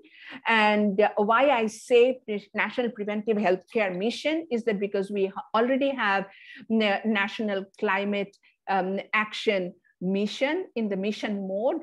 And so we can include national preventive healthcare mission into that, and then that can move together in an integrative way. And to do that, we know that this is necessary. This is not uh, I mean, this is not that an option, but this is essential to ensure sustainable development in India and also to uh, address the emerging health risk in cost effective way and to integrate and strengthen traditional scientific practices. And in this, what I want to say is that we propose to uh, when we submitted this report to government of India, one of the ministries, where we tried to say that what we need is that, as I said, national preventive healthcare system. This may be too small for you to read, but what I'm just going to explain is that. So we want to say that to ensure, so there needs to be different um, uh, uh, different uh, approaches to solve this and just to tell you that to ensure the sustainable development in india and to address the emerging health risks in cost effective way we need an integrated approach as i said but also because we want to integrate our modern system modern medical system or healthcare system which is again i said cure based system with our um, uh, uh, uh, I mean, uh, traditional scientific practices. And um, what are these uh, uh, uh, traditional scientific practices? This is something which we need to important to understand, right? So this, uh, why I said it should be in the mission mode because it can facilitate uh, I mean, um, sustainable development process through targeted preventive action that can reduce the impact on health and to a large extent reduce the, um, uh, the pressure on health infrastructure because this is already only for cure-based solution. So that cannot handle the, uh, the, the pressure that will be coming from climate-related health problems. So the goal, uh, uh our, our goal was to say that there needs to be a multidisciplinary and multi-sectoral and um, a multiple health system approach. I said that we have to take the cascading um, effect of the different uh, health um, impacts of climate change. And what it means is that um, you know, we do have many traditional preventive measures. And say, for example, sorry,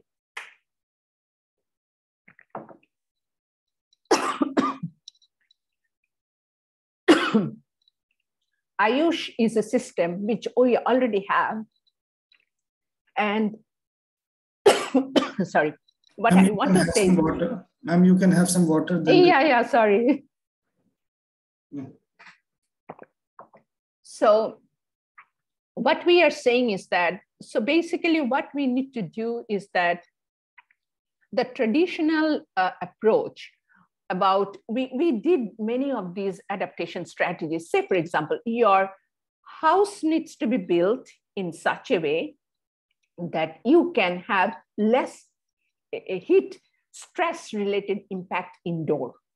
Also you can orient your house so architectural design of the buildings and also what kind of food what kind of um, work practices you will be doing what is the clothing type you will be using. So we can look into those and also dietary pattern determines how much heat you can, uh, the body can resist. So all these things, if we look into, then we will see that actually, if you see post 1947 Indian health, health policy, we will see that that encouraged actually the worst Western system of modern pharmaceuticals. Of course, we do need it. We do need cure health system, but too much of patronage to that system, what it did was it pushed away the traditional system and traditional system became marginalized. And because of that marginalization, we lost many of this traditional knowledge of managing uh, the, uh, the preventive health care. We understand many of the preventive health care. We know that, okay, when it is really hot, okay, we will take an umbrella and we will go. In many countries, they do not know because they do not have this problem and they did not understand that, right? So how much to, and what kind of clothing to wear when we have uh, uh, hot days. So there are several, and when to take a rest so um, in many uh, uh, uh, hot cities in India, we had a system of one or two hours of break during the noon time. We just took away all those and we followed a global pattern of 10 to 5 working hours. Those are not the right approaches. Mm, so we need to be thinking of those uh, alternatives. And if we look into those, then we will see that many of our adaptive actions can come from these traditional knowledge which are already there. So what i was saying is that we uh, proposed and we showed that how the different systems can be integrated and how the ayush which started in the ninth five year plan how we can strengthen it and mainstream it with the cure system so that the burden of disease can be prevented by traditional system so that on the cure system, there will be less burden. And that's how we can manage in India the large population and the large impact. So we will have many, many approaches to do this. But what I'm just saying is that I'll stop here and I'll say that the, uh, I, I believe that without a combination of um, preventive healthcare and the cure system, we will not be able to approach or we will not be able to face even the burden that we'll be facing um, as we move forward in the uh, heat stress related problem, not only heat stress, as I said, climate related, disease related issues. So I'll stop here. Thank you very much. Thank you, Professor Roy, uh, for your enlightening presentation and helping us understand the key intricacies involved in the challenges uh, of heat waves. We have some questions uh, in the Q&A box, ma'am. So I'll just read it out for you. Prakashji is asking, um, heat wave affects uh, different social groups and uh, how do you see the plight of women and the newborns in India amidst uh, the uh, rising poverty and uh, overcrowded cities? Yeah, we actually did a uh, uh, study on the women and also the children. So just to give one example, you know, women spend um, I mean, suppose those women who spend they are 24 hours uh, because they are homemakers, then they spend their large chunk of time in the kitchen. And we actually do all these measurements also. Kitchens are four to six degrees warmer than any other room in your home remember that right and when we buy a air conditioner or we have a fan we never think of kitchen to be cooled because we th- think that that needs to be hot but then women spend the time there so you can imagine what is the heat stress on their body and um, uh, if you think of the newborn, they are also all the time home. They will be home. They will not be mobile. So any heat stress, any temperature rise will be impacting them. And as I said, even the children have less acclimatization. So that goes even to the newborn. That's why I say there is going to be an intergenerational health problem, which we are not looking at right now. And given the poverty, this is going to be even worse because of the malnutrition. So if we just bring in all these, you can see the accumulated mm, a health burden, if we make an estimate of that, we have not done this yet. If we do this accumulated health burden, preventive health care, without that, you cannot solve through your medical system or the cure system. That means, uh, like, like, you know, in our environmental economics, we say that you pollute and then end, at the end of the pipe, you clear it. That's not the solution. We have seen in terms of air pollution also, that's not the solution, right? We need to prevent the pollution coming out at the beginning. So that's the preventive healthcare. Without, without that in India, I do not see a solution.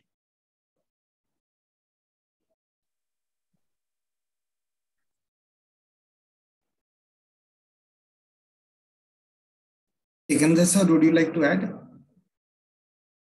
Yes, excellent. I think, excellent. I think, uh, thank you, Professor uh, Joyashree. Uh, because uh, uh, when you were speaking about workability and workable zone, actually this reminds me uh, because you know uh, the cities are one of the important stakeholders. I mean i don't use that term stakeholder but yeah. Mm. i mean you know one of the important uh, uh, spaces sufferer and sufferer and the emitter. Actually.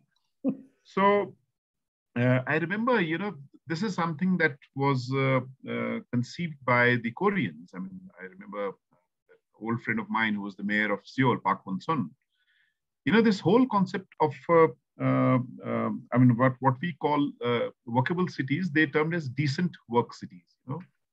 So I think it is high time that uh, we have to bring on board uh, uh, the elected representatives of towns and the cities, though they have hardly anything to do in it because now with the new four labor codes, uh, most of it comes under the domain of the state governments. Uh, but nevertheless, I think because cities are important spaces, so if we could just create that environment or maybe just build some capacities of our city governments, uh, asking them. I mean, this is something astonishing that I came to know you. I mean, when, when you when you were speaking about the Calcutta population, actually, not even a single person should work. I mean, that uh, that is the no, not only that, Calcutta. Look at the Mumbai is worse. Yeah, yeah. So I, but, but yeah. So because I think it's, it's, high you know? time that we just start thinking about the large informal sector that exists in the cities. Yeah, you know, and who do not is... have, uh, you know, I mean, the asset holding capacity. We know the, yeah. the Oxfam report that is screaming at us time and again. So maybe decent work city could be one of the ways in which we can intervene. And since we work with city governments, Arjun, probably we can just bring them on board and ask them, hey, what are you doing here? At least let's yeah. let's build some environment.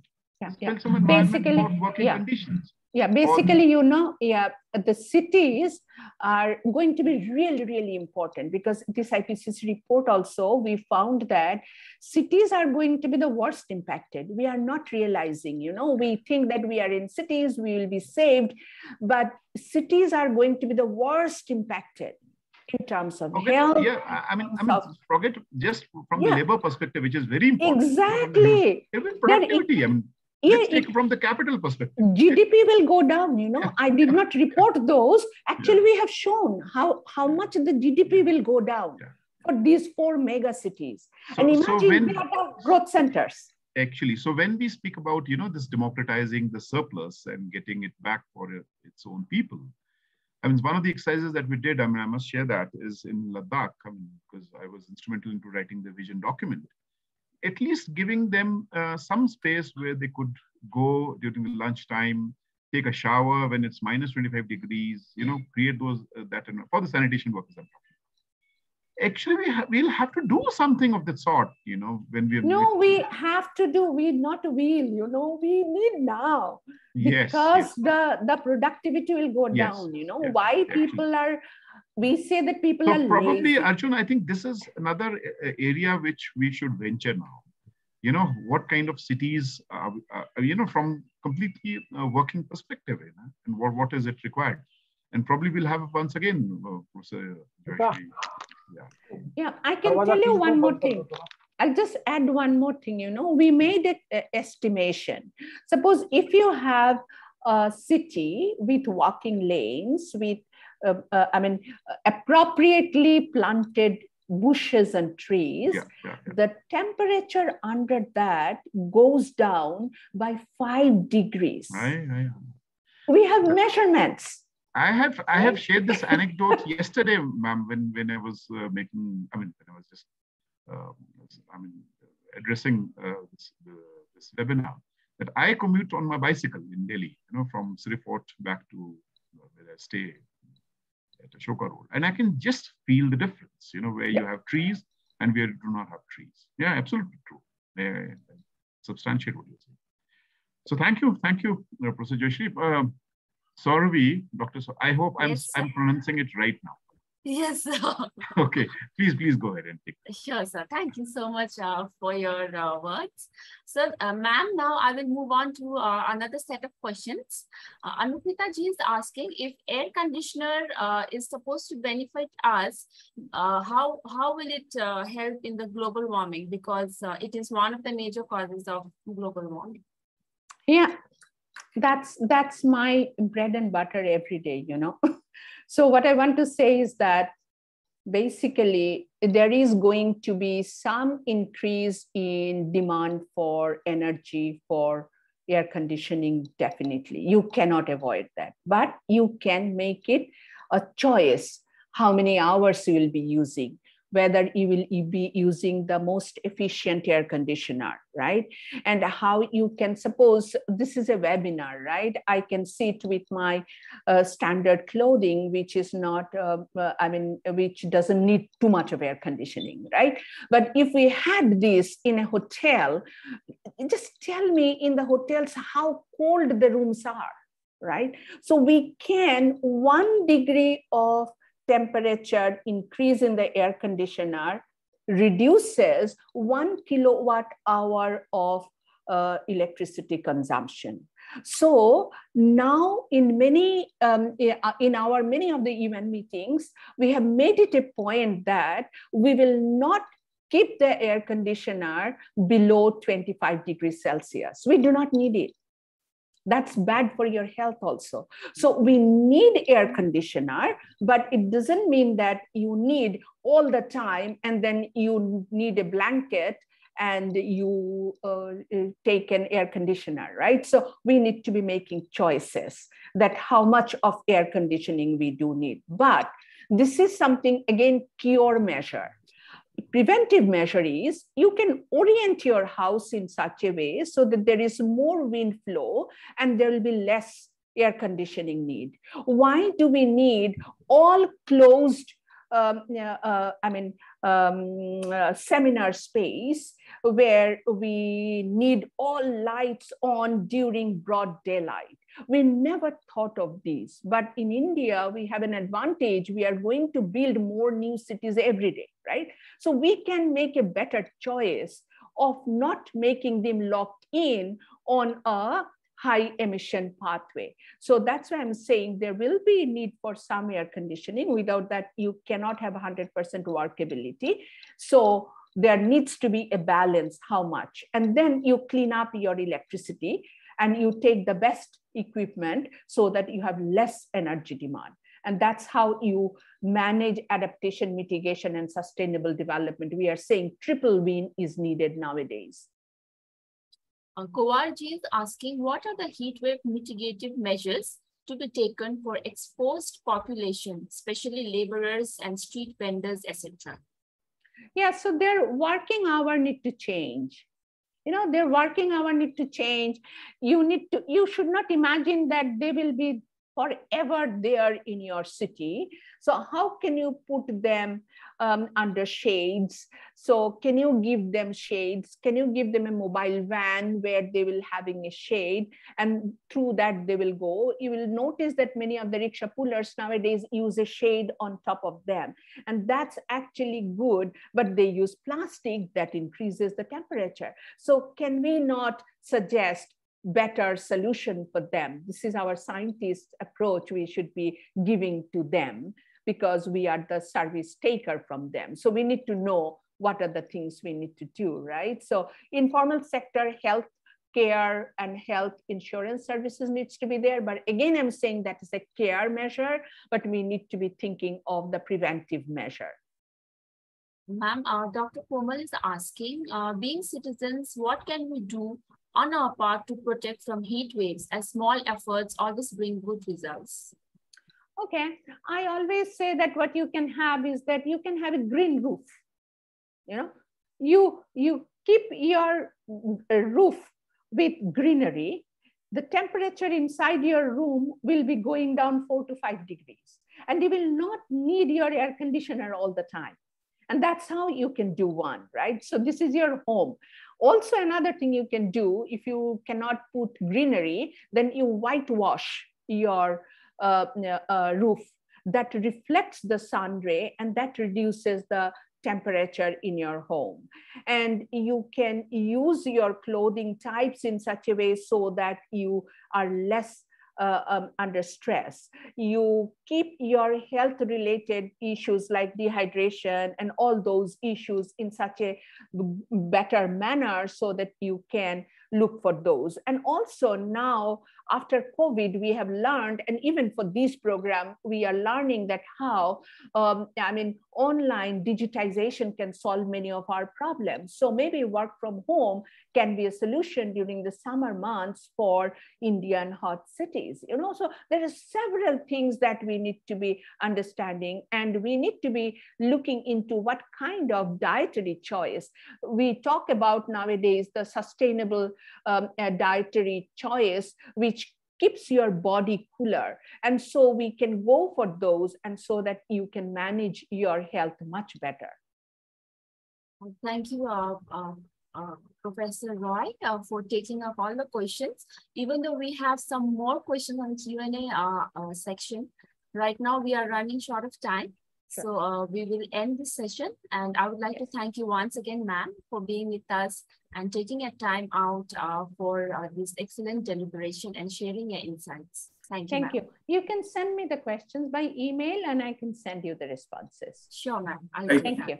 And ma'am, if you need to make any concluding comments, one, two minutes. Um, no, what I really want to say is that uh, we should not be only talking about heat wave. My last word will be that we should be talking about multiple health stresses that will be created by the climate extremes. And we know these signs. We must talk about this. We must teach this in the schools. And every day we need to have a talk show, maybe radio, maybe television, in the newspaper.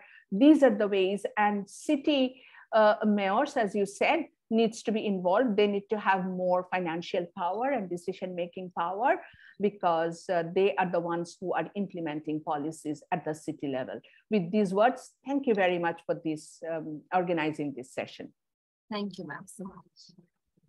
Now, uh, moving on to our next and last session of our day two of this training program.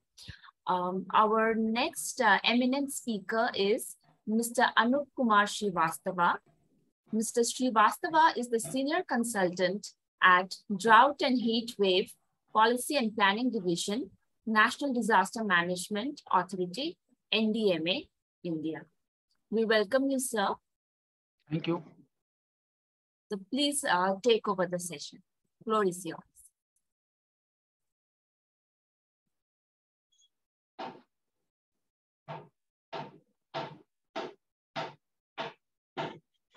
Yes, we can see. Sir. Uh, good morning. I am audible? Yes, sir. Yeah. Uh, thank you uh, to the organizer and earlier presenter uh, is very well uh, presented in the uh, climate change and uh, heat health uh, aspect very well. Uh, one thing I added, uh, climate change and heat health aspect is a must be involved in the uh, government sector and people's participation is required. Uh, without uh, uh, involving in this sector, uh, not achieve the our goal and uh, target of the heat stress come down. Okay, I am start my presentation.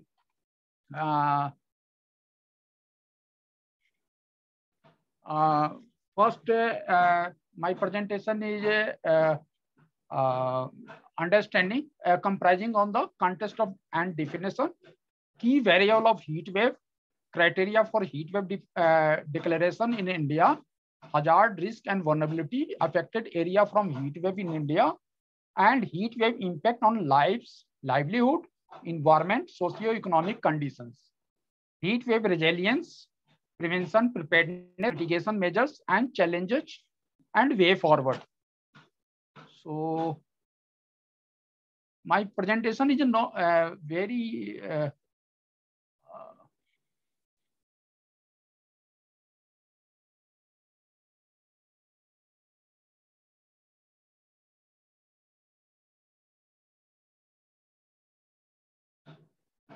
uh, now contest contest india is the second most populous uh, country in the world with a considerably high population density is the ma major problem is here.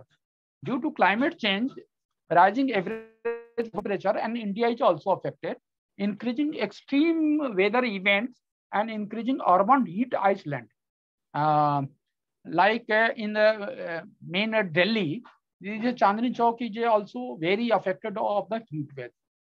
And similarly, uh, other state is affected and develop the heat island. Uh, extreme weather event uh, increasing uh, the in, in, uh, intense heat wave become more frequent, severe, affecting health and livelihood of vulnerable population uh, due to climate change. And uh, also last six, seven years, visible number of state, district, city, and rural areas in India have been severely affected more than 19 crore peoples uh, uh, uh, resisting uh, in a core heat wave zone in India, mostly vulnerable and weaker section.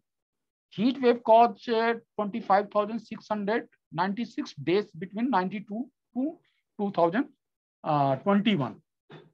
This year figure is also uh, uh not uh, uh, published uh, uh, due to uh, some state is still verified, verifying the data and confirm the deaths and illness.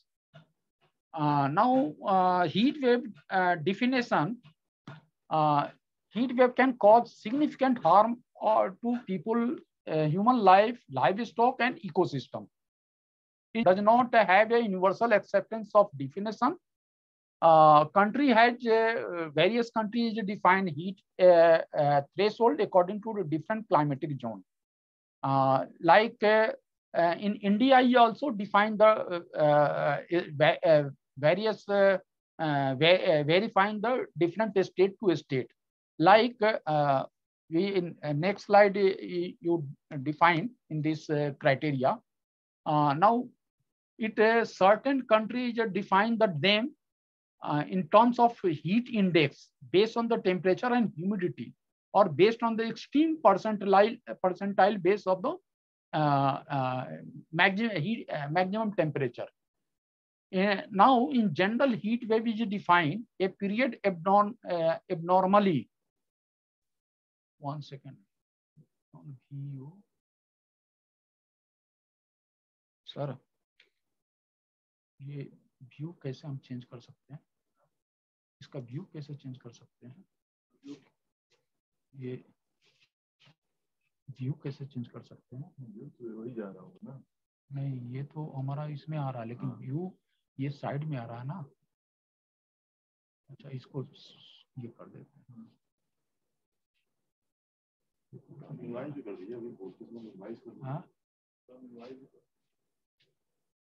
Any anyway uh, sorry for interruption now india has a uh, uh, uh, heat wave zone 17 state uh, as a uh, recognized the heat wave zone like punjab haryana delhi uttar pradesh bihar jharkhand west bengal odisha madhya pradesh rajasthan gujarat and parts of uh, maharashtra karnataka andhra pradesh and telangana sometimes is occur some uh, over Tamil Nadu and Kerala is also affected the uh, heat wave. Uh, some other state uh, occur in the heat wave like Goa, Himachal Pradesh, Jammu Kashmir, Uttarakhand, Chhattisgarh, and Arunachal Pradesh. Now, uh, map showing the uh, heat wave uh, zone and heat wave affected state uh, in the right right corner. Uh, in summer season this year in summer season uh, uh, 2022 march to june based on the period 1981 uh, to 2010 now average temperature recorded is a very high. In the last uh, 122 years uh, uh, uh, uh, average maximum temperature recorded ever highest with the 33.1 degree uh, centigrade in last 122 years for the period of uh, 1901 to 2020.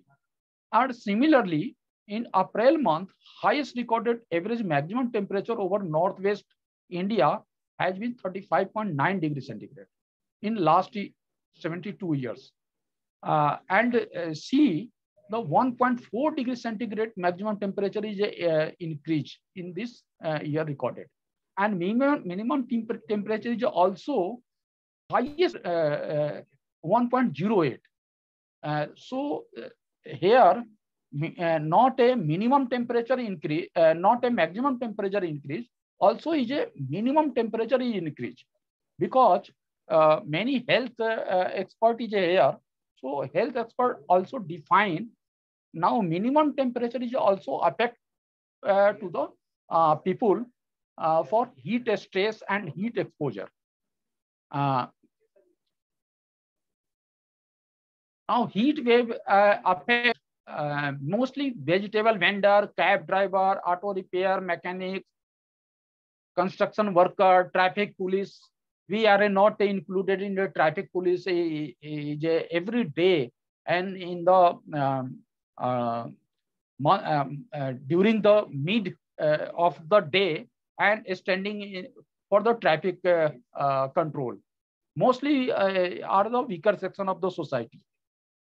Uh, he, heat wave deaths now 25,696 people died due to heat wave between 92 to 2021 and uh, we have comparison uh, 2011 to 15 6973 deaths is recorded. And 2016 to 21 1743 deaths are uh, recorded in addition, heat wave caused deaths of animal, wildlife, birds, and cattle is a extractions are very effective. So this uh, figure, 2016 to 20, uh, 2021, due uh, less than uh, uh, uh, previous year recorded the heat wave death due to some action taken by India and uh, government agency and uh, various stakeholder, state government and uh, research organization like IIPH, Gandhinagar, NRDC, IMD, Ministry of Health and Environment, Environment, Ministry of Health and Farmer Welfare, various mainstreaming uh, government agency is also involved to take an action uh, for the heat wave uh, prevention, preparedness, and mitigation measures. Now, impact of heat wave. Uh, now, uh, commonly uh, earlier presenter presenter has discussed the impact of the heat uh, health uh, aspect. Now impact is a very large, very large.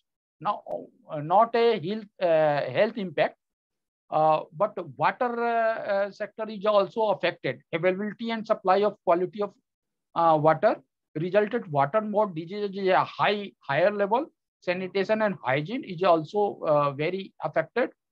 Uh, now agriculture and food security is also uh, very impacted. this year now one research is come come up and high higher temperature recorded due to March, February, March, and April has been affected on agriculture production and food and nutrition supply. Uh, basically on uh, uh, basically on the wheat production and other crops also is affected but uh, due course of the research and similarly livestock decreasing milk production and livelihood in the village area labor and employment also is affected, reduce, reduce the work efficiency and capacity. Uh, development work and productivity is also reduced. Similarly, education system is also affected due to heat wave. Now, learning activities due to heat exposure uh, child is not going to coaching institute and uh, uh, schools and uh, so uh, impact on heat wave on the education learning system. And similarly, power. Power sector is also affected, increasing demand of the power due to heat wave. Uh, so many uh, families of uh, uh, um, in urban area so ask continuous work fan and AC is using. And heat wave impacted much more on economic activities. So compile this uh, uh, affected sector and uh, much more uh, sector is involved who imp affected and impacted. So then calculate the impacted much more the economic activities and country losses. Secondary increase, now challenges, uh, this is the uh, reality. Now challenges is the increasing frequency, intensity and duration of heat wave can lead the dangerous of health and cause uh, causes death. WHO is uh, also statements. Increasing trend of heat wave in India. Now nine state is affected in 2015 and 23 state uh, is uh, vulnerable in 2021 and people are much affected. Increasing vulnerability, mostly weaker section of the society, large number of mortality due to heat wave, lack of institutional mechanism to heat wave management, and lack of civil political awareness on the heat wave. Heat wave is a not uh, uh, one is a, another very big challenge.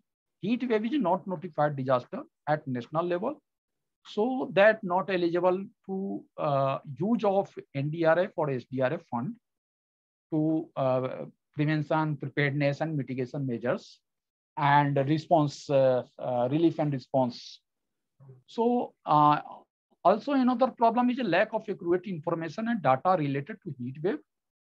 Uh, basically heat related illness and death are avoidable the impact of extreme heat wave on human health, livestock, li uh, livelihood, agriculture, and lastly is the economy. Uh, now, uh, heat wave, uh, what is the heat wave management uh, uh, system in India and what is the policy and plan?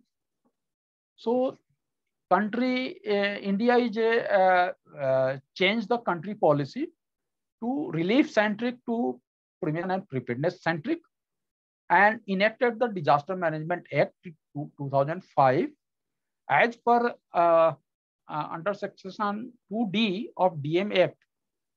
So uh, catastrophe or mishap, calamity of uh, grave occurrence in any area arising from natural and man-made cause as to be beyond the coping capacity of the affected area.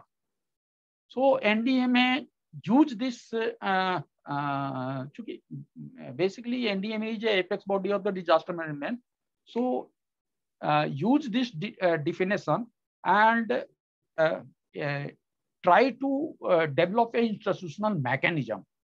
So uh, people are uh, uh, or and state government and other district level government and administration can be use this institutional uh, uh, system and uh, avoid the heat wave affected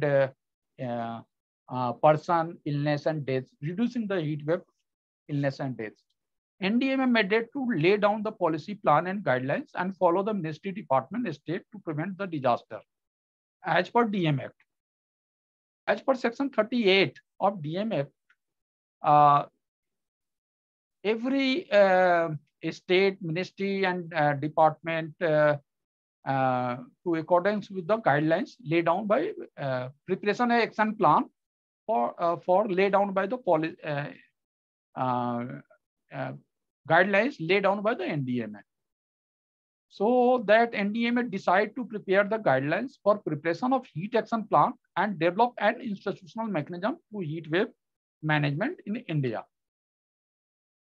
So prevention, preparedness, and mitigation measures, we have uh, NDMA prepare a heat wave uh, guidelines in 2016 and thereafter revising the 2017 and 2019 19 in the base of uh, uh, field experiences and uh, various state government experiences.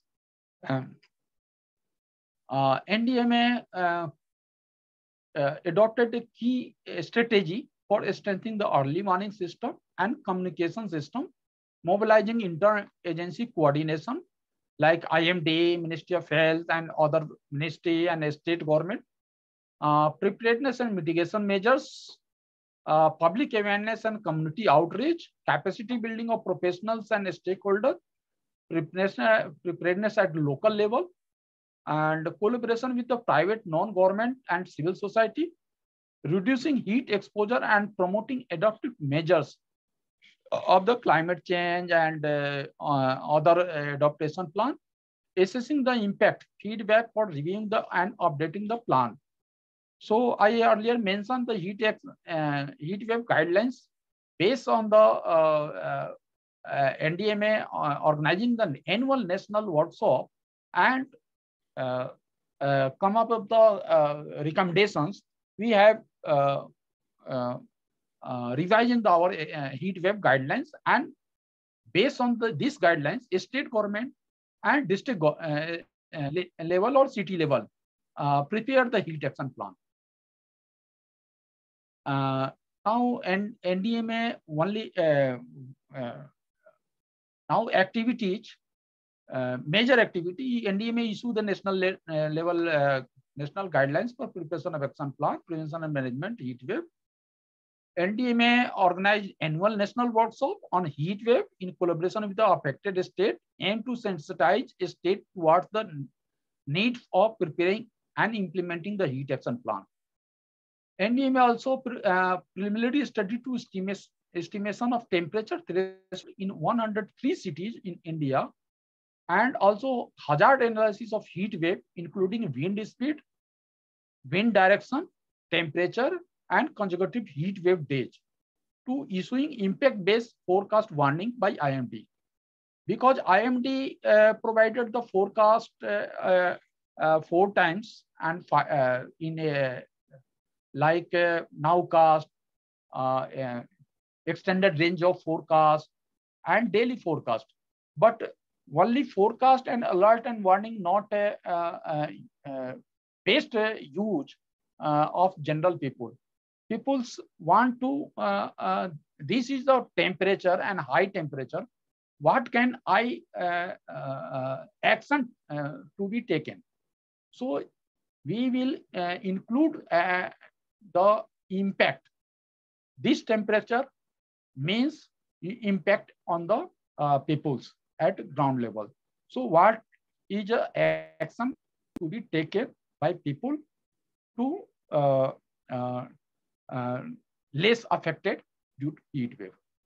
Also issue and advisory do and don'ts and share with the all heat prone state. Reviewing uh, heat wave preparedness through video conference with all state in time to time.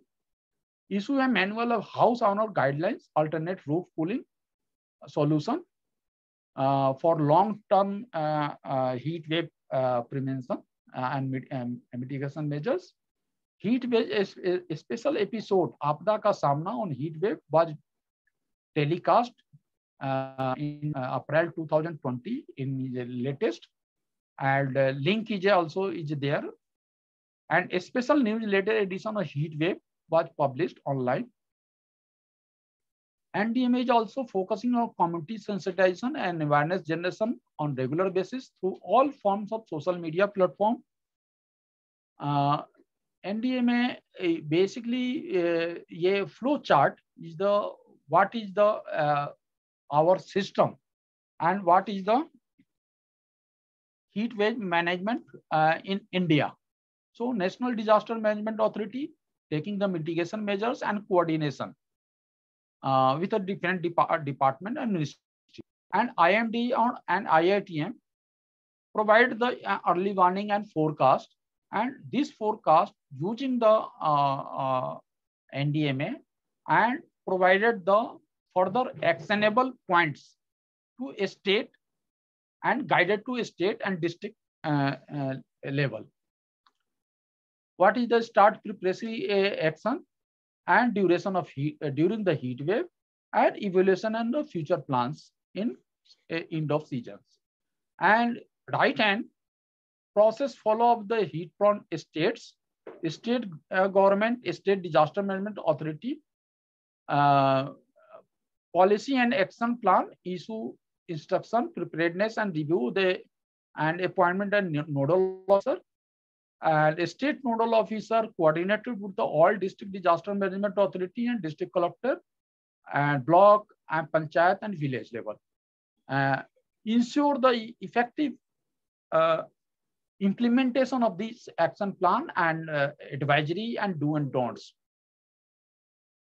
Now IMD issue a long range uh, forecast is at, a whole season, extended range of forecast two to four week uh, medium range uh, forecast 4 to 10 days, short range forecasts 1 to 3 days, uh, and nowcast 3 to 6 hour. Local forecast is a district and sub-district level at uh, uh, regional forecast offices at a state level provided. So these types of color coding forecast in uh, IMD provided. Green, uh, like green X, green color coding, basically 30 below the 36 degree temperature, okay, and uh, no action, comfortable temperature, no caution, cautionary action required. Uh, three uh, yellow alert, orange alert, and red alert also provide. And yellow alert uh, is a heat condition at district level likely to persist for two days. If two days temperature is a 37 to 40 degree and also correlate with a heat index 32 to uh, uh, 41 degree centigrade is a yellow uh, alert. So people's know uh, alert, alertness and come what is the action is required. Uh, so next is a uh, important, very important issue, early warning disseminations. Dissemination through local uh, and electronic media, issue of daily warning using email, fax, mobile, SMS, WhatsApp, etc., etc. Display board of color coding for heat wave alertness in different cities uh, uh, like uh, Mumbai, Hyderabad, uh, Vijayawada, various various places, Noida, uh, various places uh, uh, is uh, uh, uh, display road is just a setting of and radio jingla and TV scroll on the local channels, display hoarding, advertisement, warning message to officers at a state level and district level collectors, and advisory for tourists also we will provide. Uh, now, uh, preparedness measures like uh, setting of the state district control rooms, uh, prepare and implementation of heat action plans, and SOP. Uh, stock, uh, stock peeling of oral, uh, oral rehydration solutions, repairing drinking water and hand pumps, renovation of the deepening of water bodies under the Manrega, uh, Manrega capacity building of health personnel. Now mitigation measures, early start and early closure of school, colleges, institutions, departments. Uh, uh, earlier presenter, presenter is also mentioned that points. Now drinking water kiosk and stall identified at the different place of the cities and uh, rural areas also and provide uh, drinking water. Supply water through tankers where is a uh, where a shortfall of drinking water. So state government and district uh, officials is a uh, pre-plan for the supply, uh, identified the vulnerable place where is a need for water supply during the heat wave. So uh, uh, affected area supply of water through tankers, setting up a special center for wage employment workers and rescheduling their working hours in um, uh, advisory issue by Ministry of Labor and uh, Employment, construction of animal shelter with fodder bank in different state, uh, apply this uh, uh, using of animal uh, shelter and folder bank, fodder bank, tree positioning and of adequate veterinary medicine and supply to reduce the impact of livestock. Also, we have public awareness. We have prepared the public ad in uh, different language, English, Hindi, and other language uh, in uh, heat-prone affected state uh, based on the IMD forecast and warning. And also NDMA prepared a 20 uh, uh, uh, TVC, short commercial film. So peoples can be, local government use this film in different uh, meetings, seminar, and uh, Gram Sabha and uh, everywhere. So people aware of this uh, heat wave uh, uh, problems and solutions. Now,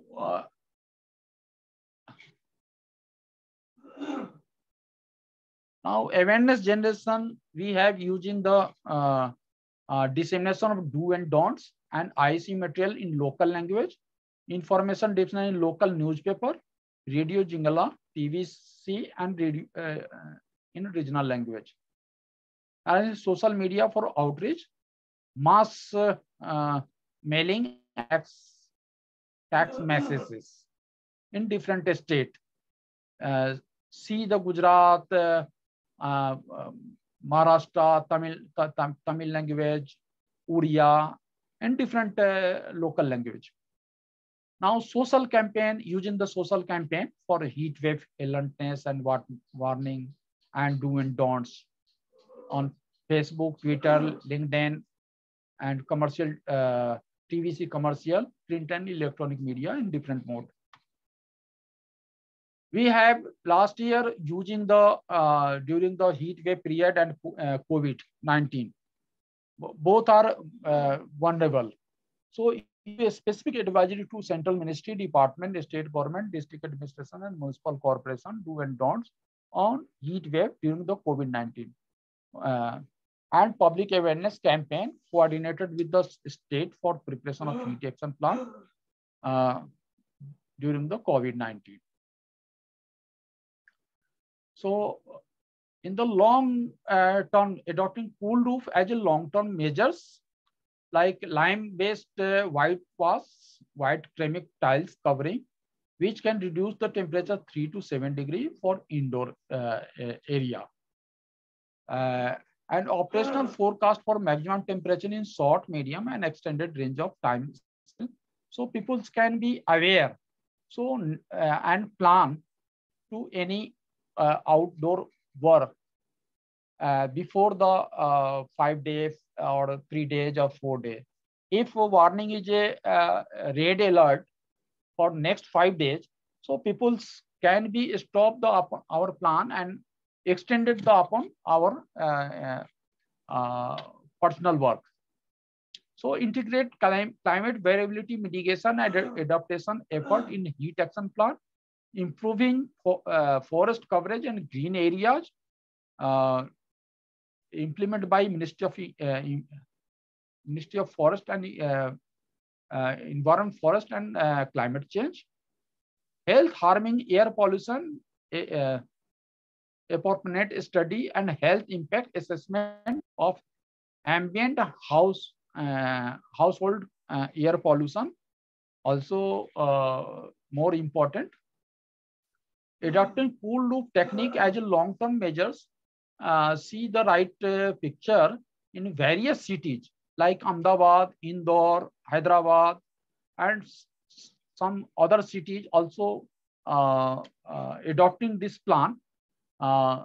and this is the very effective plan uh, mitigation measures, long-term mitigation measures, and cool down the houses.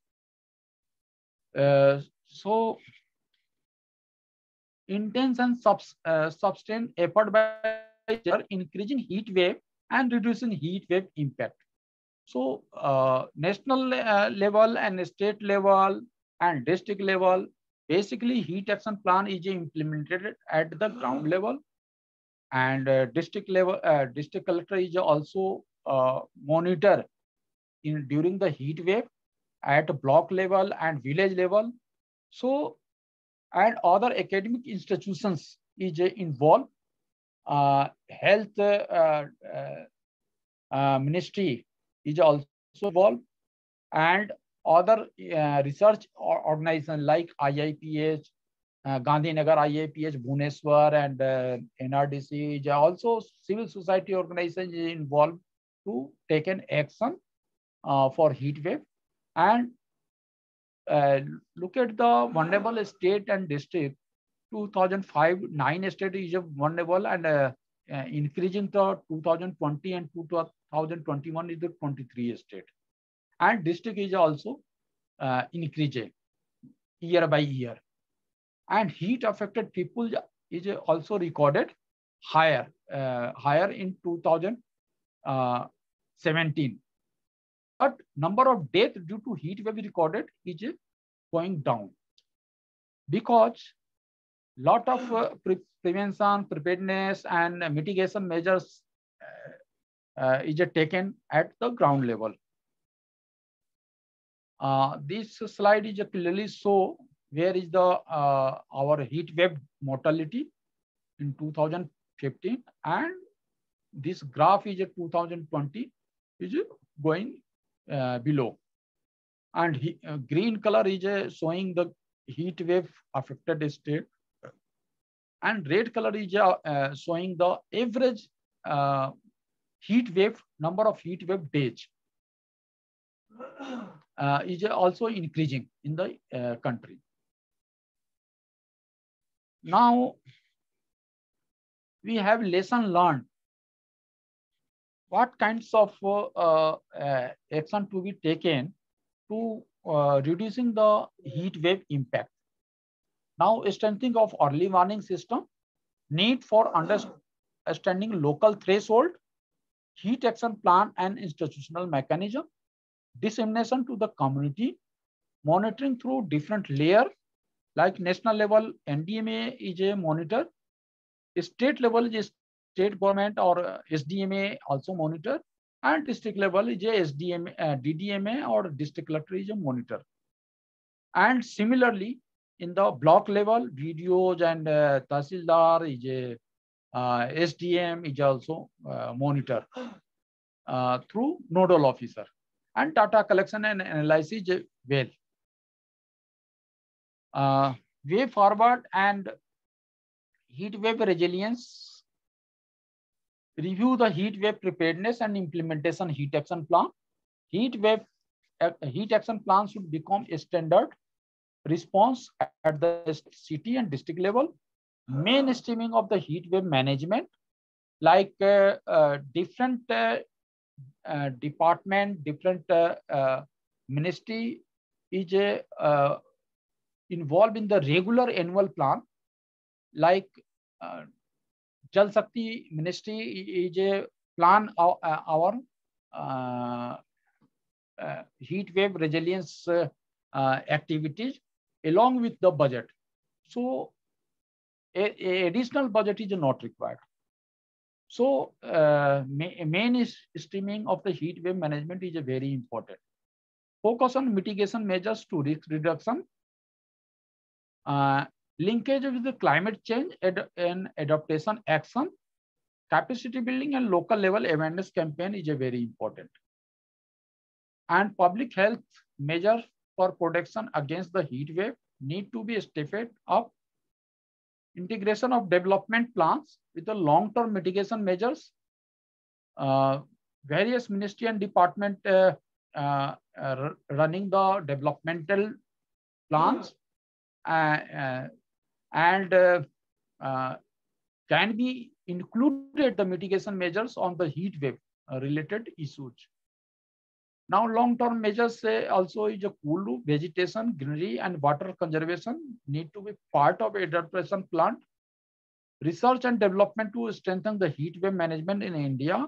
Like last year research given the agri on the agriculture sector, we also uh, required to livestock uh, sector is also need to uh, research and other sector like uh, uh, labor and employment sector where losses where is the impacted uh, so further action to be taken. Now cool roof is a simple and cost effective solution to urbanization challenges. A roof that stay cool in the uh, sun by reflecting sunlight to minimize solar absorption and emitting thermal radiation to help uh, dissipate solar heat gain. Like pictures show is the reflection 20% is reflected and reflected 80%. Uh, so dark cool roof and white cool roof. Very, uh, so benefit uh, of the provided thermal comfort reducing indoor temperature protect vulnerable peoples, improve comfort, uh, comfort for uh, harness schools, hospitals, and other uh, building, enhance the productivity and extended roof life of the reduce the maintenance. If you uh, using the um, extended uh, cool roof technology, so our house uh, is also life is a uh, increase. In air conditioner building, improve comfort, reduce uh, cooler demand, money, and enhance the saving. And implemented on a large scale, work to reduce urban heat island. And this is the last slide, do and don'ts. Now reducing the, uh, minimize the impact of heat wave due to using the do and don'ts. It's a very simple thing. If this uh, do and don'ts, uh, we will be huge. You using the uh, public. So mostly, uh, I think he, uh, heat wave uh, risk is a minimized, very minimized. Like, like avoid going out in the suns, especially between 12 to 3 p.m and drink sufficient water and as often the possible, even if not thirsty. Wear light uh, weight, light color, loose and porous cotton cloth. Use protective glass, umbrella, hat, shoes and chappal with going outside in the sun. Avoid strenuous activities when the outside temperature is high. Avoid working outside between 12 to 3 p.m like uh, various state is uh, working uh, in the Manrega and Manrega worker is uh, uh, working in this uh, uh mid uh, day. So advise to, to a state and Ministry of Rural Development to this timing has been changed. Peoples are working in the Narega 6 to 10 p.m., 10 a.m. or 7 to 11 a.m. and then uh, break the uh, uh, middle day and also again work in the 4 p.m. to 6 p.m. Uh, in the evening. While traveling, carry water with you. Avoid alcohol, tea, coffee, and carbonated soft drink, which dehydrated by body on a high level protein food and do not eat uh, stall food. If you work outside, use hat or umbrella and also use the damp cloth or your heat uh, neck, face and limbs. Do not leave children on pets and park vehicle. If you feel faint or ill, see a doctor immediately. Uh, use ORS homemade drink like lassi, torani, rice water, lemon water, buttermilk, etc., which help to rehydrate of the body. Keep animal in shade and given them penalty of water drinks. Keep your home cool. Use certain shutters or sunset and open window at night because uh, minimum temperature is also uh, affected to reduce the uh, heat wave body J body तैयार हो जाता है next day के heat wave को लेने के लिए। Use fan damps clothing and take bath in cool cold water frequently अगर दो से तीन बार अगर दिन में नहाने का मौका मिल जाता है वाटर सफिशियंट है तो आप उससे बॉडी कूल हो जाता है। Thank you. Um, thank you, Sri anukumarji, for your presentation and giving us an overview of uh, NDMA's activities and action plans uh, related to heat waves. Um, Tikender Sirji, uh, would you like to add some comments to the presentation?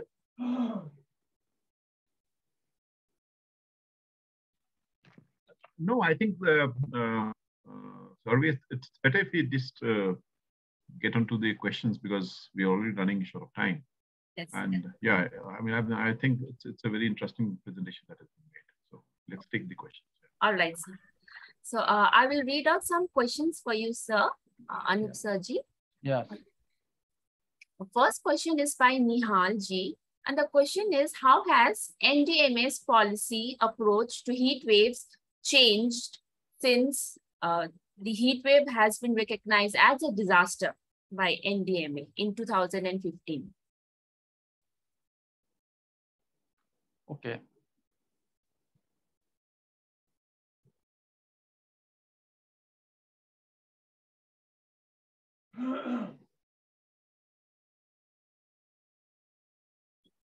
You can see my slide.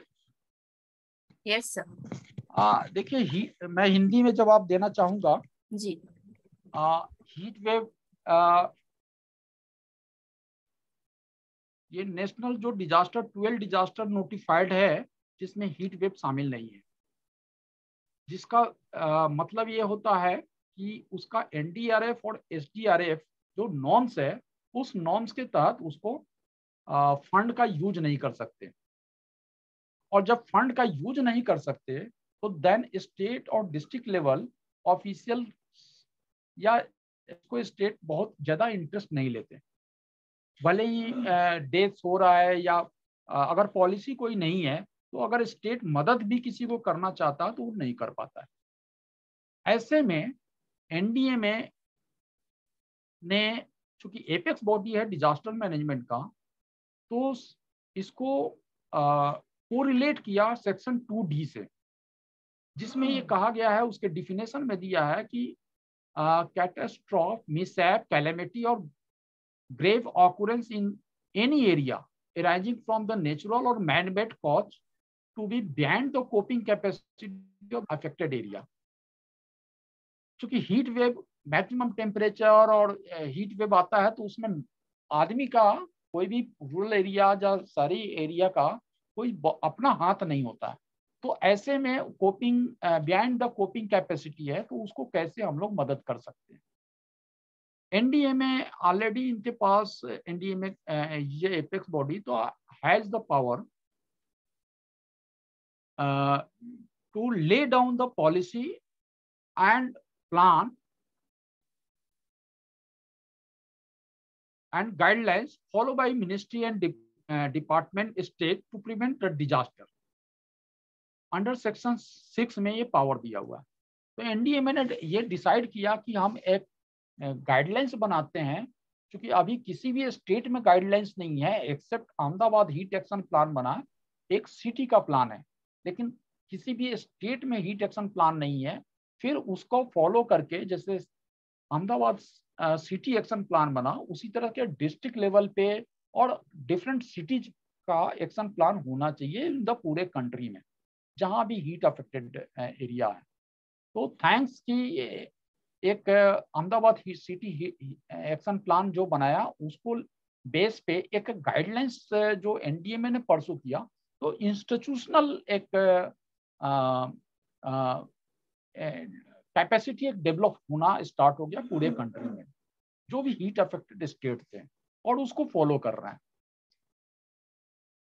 और then फिर heat wave guidelines के base पे more than जो heat affected state है, उसमें से more than 90 percent heat action plan state ने बना लिया है।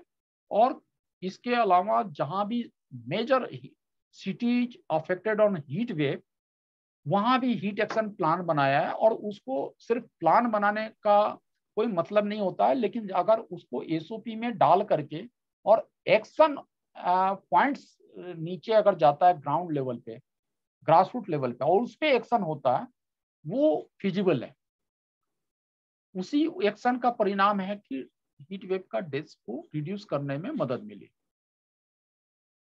sir. Uh, there is one question uh, Sailendra ji wants to ask you.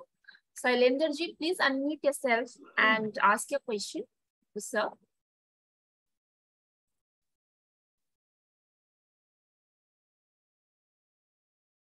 Shailendra ji.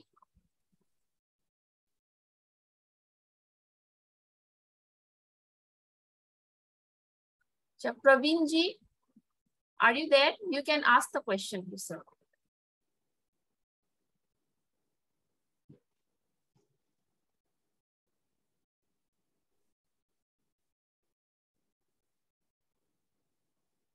Shailendra ji Sir, we read it out. Okay.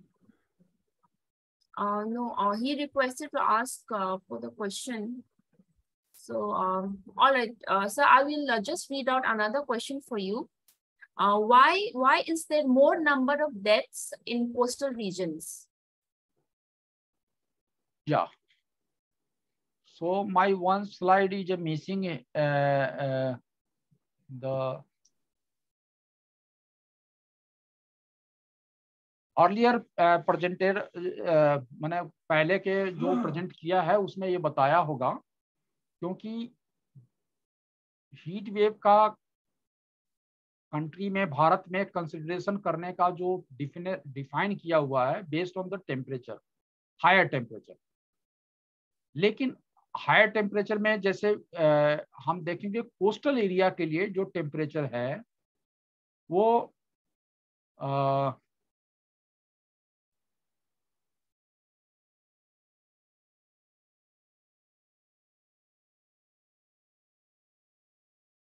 thirty seven degree and more of the coastal station के लिए। Coastal area में ये सिर्फ़ temperature का आ, के साथ साथ humidity बड़े पैमाने पर होती है। तो जो फील लाइक टेम्परेचर है वो इंक्रीज कर जाता है।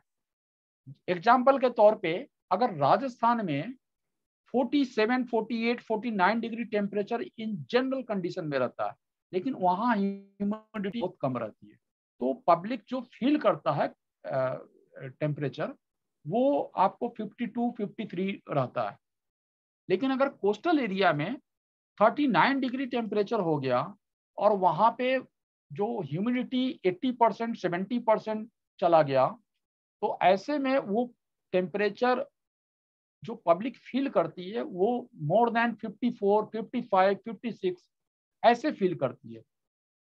ऐसे में जो उनका जो बॉडी से इवोपरेशन होता है आ, वो जो पसीना निकलता है वो पसीना बाहर नहीं आ पाता है वो चिपचिपा सा शरीर में चिपका रहता है। वो चिपके रहने से जो हीट जो बाहर आना चाहिए वो बाहर नहीं आने के कारण अंदर अंदर वो मेडिकल फ़ील्ड में ज़्यादा एक्सक्लूसिव तरीके से बता पाएँगे कि अंदर अंदर जो ब्लड सर्कुलेशन है वो सर्कुलेशन अफेक्ट करता है और फाइनली वो डेथ के कगार पे चले जाते हैं। तो हीट स्ट्रेस हीट स्ट्रोक होने की संभावना वहाँ पे ज़्यादा बन जाती है। Sir another question is by Jagriti ji वो पूछ रहे कि अगर NDMA has developed heat index देखिए एनडीए में हीट इंडेक्स एनडीए में कोऑर्डिनेट कर सकता है और इसके ऊपर जो है काफ़ी लोग काम कर रहे हैं। जैसे आईआईटी दिल्ली पिछले तीन साल से इस पे काम कर रहे हैं। आईएमडी से इंफॉर्मेशन डाटा वो शेयर कर रहे हैं। उसी तरह से एक चेन्नई का जो रिसर्च इंस्टीट्यूट है, वो भी काम कर रहे हैं। बहुत सारे रिसर्च इंस्टीट्यूट काम कर रहे हैं। NDMA is not research institute NDMA is apex body of disaster management तो डिजास्टर मैनेजमेंट को कैसे हम पॉलिसी में डाल सकते हैं? अगर कोई रिसर्च आता है हीट इंडेक्स को लेकर के तो हम उसको अडॉप्ट करके और उसके ऊपर हम लोग स्टेट के साथ में या लोकल गवर्नमेंट के साथ में उसको अप्लाई कर सकते हैं उसको। सर कोमल जी पूछ रहे हैं कि हम लोगों और स्टूडेंट्स को कैसे हीट वेव्स के बारे में अवेयर कर सकते हैं? कौन सा स्टूडेंट लाइक जैसे स्टूडेंट्स और लोगों को कैसे अवेयरनेस फैला सकते हैं हीट वेव्स के बारे में? या या हीट वेव अवेयरनेस हम लोगों ने प्रोग्राम जैसे चलाते हैं एक तो सोशल मीडिया का यूज़ कर सकते हैं और इसके अलावा जो कैपेसिटी बिल्ड करते हैं वो एनआईडीएम भी ऑर्गेनाइज करता है ट्रेनिंग प्रोग्राम उसमें गवर्नमेंट ऑफिसर्स उनको करते हैं। इसके अलावा एनडीए में एनआईडीएम जो है मास्टर ट्रेनर भी बना तैयार करता है जो कि इंस्टीट्यूशंस में जाते हैं। कई सारे प्राइवेट स्कूल से लेकर के गवर्नमेंट स्कूल में भी जाते हैं। तो वो कैपेसिटी बिल्ड करते हैं। इसके अलावा मिनिस्ट्री ऑफ़ हेल्थ वो कैपेसिटी बिल्ड करता है मेडिकल स्टूडेंट्स को डॉक्टर को और आ, जो हेल्थ पर्सनल है उनको। इसके अलावा जो लोकल लेवल पे स्टेट गवर्नमेंट है state government already capacity build करता है, जैसे बिहार है, आंध्र प्रदेश है, महाराष्ट्र है, राजस्थान है, वो डिफरेंट स्कूल्स में कॉलेज में वो लेक्चर भी देने जाते हैं एज ए गेस्ट लेक्चर और उनकी कैपेसिटी बिल्ड भी करते हैं। और तीसरी चीज़ है कि वो डिमांड बेस्ड अगर किसी इंस्टीट्यूशन से कहीं डिमांड आता है कि हमारे स्टूडेंट्स को आप थोड़ा कैपेसिटी बिल्ड कीजिए ऑन डिफरेंट डिजास्टर तो हमारे यहाँ से रिसोर्स पर्सन ऑलरेडी प्रोवाइड करते हैं कि जा करके वहाँ पे लेक्चर दे सके not a only heat wave in different disaster So Gowarji is asking, uh, what are the reasons for heat wave occurrence in the states that previously didn't experience the same? देखिए जैसा कि climate change का असर आ रहा है हमारे पहले जो एक्सपर्ट ने बताया उसको इंटरनेशनली और नेशनली उसको लिंक किया कि क्लाइमेट चेंज का जो इफ़ेक्ट है, वो नॉट ए पूरा ग्लोबल में हो रहा है। और अभी आईपीसीसी का जो रिपोर्ट आया है फरवरी 2022 में, उसमें भी क्लियरली शो कर रहे हैं कि एशिया पैसिफिक और South Asia Pacific specially heat wave और ऑकुरेंस यहाँ पे इंक्रीज कर रहा है और करेगा इन फ्यूचर में। तो अभी से अगर क्लाइमेट चेंज बेस्ड हम एडोप्टेशन प्लान को यूज़ करें उसमें हम शामिल करें मिटिगेशन मेजर्स को कैसे हम डाल सकते हैं as a long term perspective में तो उसको रिड्यूस कर सकते हैं। और कारण सबको पता है कि जिस तरह से हीट वेव का इंक्रीज इंक्रीज सिर्फ़ इंडिया के परस्पेक्टिव में नहीं हो रहा है वो पूरा ग्लोबल परस्पेक्टिव में हो रहा है। Sir, uh, Shailendra ji is uh, the construction technology is responsible for the temperature rise and uh, how much new construction technology can help when they are not much accepted by common person and due to high cost and neglecting the benefits in long run. matlab uh, how construction technology is responsible for increase in temperature in India?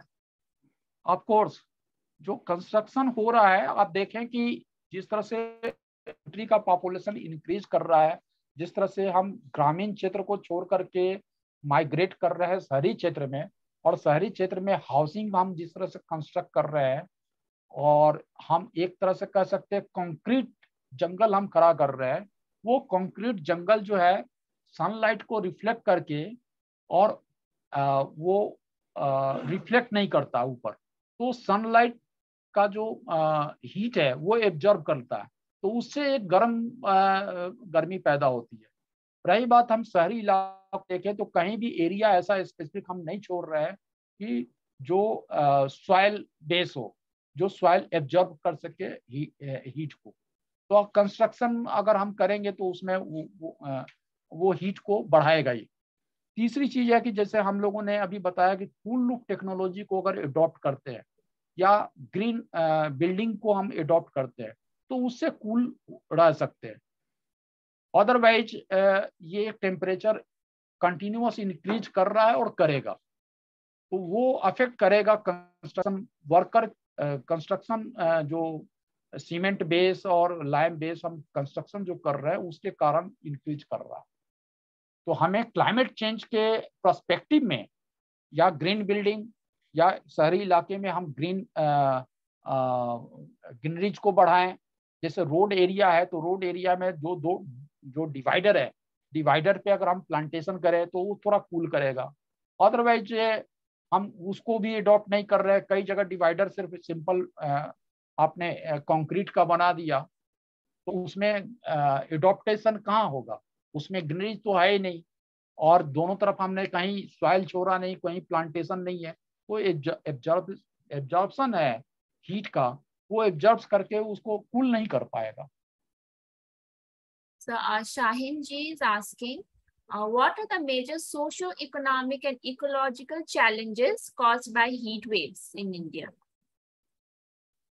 Major challenges है कि ecosystem को हमें अगर manage uh, करना है तो हमें climate change adaptation जो प्लान है उसको हमें ग्राउंड लेवल से लेकर के, चाहे ग्रामीण क्षेत्र से लेकर के और शहरी क्षेत्र तक, हमें इसको एडॉप्ट करना ही होगा। अगर इसको नहीं करते हैं तो इसका कोई दूसरा उपाय नहीं हो सकता है। और दूसरी चीज़ है कि गवर्नमेंट इंस्टीट्यूशन इसको नीचे तक ले जाने का प्रयास कर रहे हैं, लेकिन ईमानदारी से इसका अगर इम्प्लीमेंटेशन होता है, तभी तो इसका प्रतिफल मिलेगा। अदरवाइज़ अगर इम्प्लीमेंटेशन अगर ग्राउंड लेवल पे नहीं होगा तो उसका कोई भी लाभ नहीं मिलेगा। तो इसमें पीपल्स का पार्टिसिपेशन भी बहुत ही ज़रूरी है। वो अगर हर गाँव में ग्राम पंचायत या ग्राम सभा में इस चीज़ को अगर डिस्कस करते हैं कि हमारे गाँव का हमारे ब्लॉक का अगर टेम्परेचर इंक्रीज कर रहा है कैसे इसको आ, कम करना है आ, तो ग्रीनरीज को बढ़ाना है। तो कैसे हम बढ़ाएँ, क्या क्या एक्टिविटीज़ है, उसको हमें एडॉप्ट करना होगा। तो दैन फिर इकोसिस्टम को हम डेवलप कर सकते हैं। शहरी इलाके में ज़्यादा से ज़्यादा ग्रीनरीज को बढ़ाना होगा। नॉट ए सिर्फ़ हम सीमेंट का जो बिल्डिंग खड़ा करते जा रहे हैं, उसके साथ साथ फुल लूप टेक्नोलॉजी और प्लस जो ग्रीनरी बिल्डिंग है, उसको हमें एडॉप्ट करना होगा। Sir, Anuprita ji is asking, how do we manage groundwater level while handling the heat waves? Ground water level को तो देखिए हीट वेव से लिंकेजेस तो है इसमें जैसे मैंने बताया कि शहरी इलाके में तो हमने कोई एरिया ऐसा छोड़ा नहीं जहाँ भी जगह बचता है रोड रोड से के बाद से घर का जो ए, ए, में घुसने के लिए जो हमने एरिया बनाया, वो सब सीमेंट कर दिया। कहीं भी एरिया हमने छोड़ा नहीं, जो ग्राउंड पे, मिट्टी पे रेनफॉल आए और वो एब्जॉर्ब करे।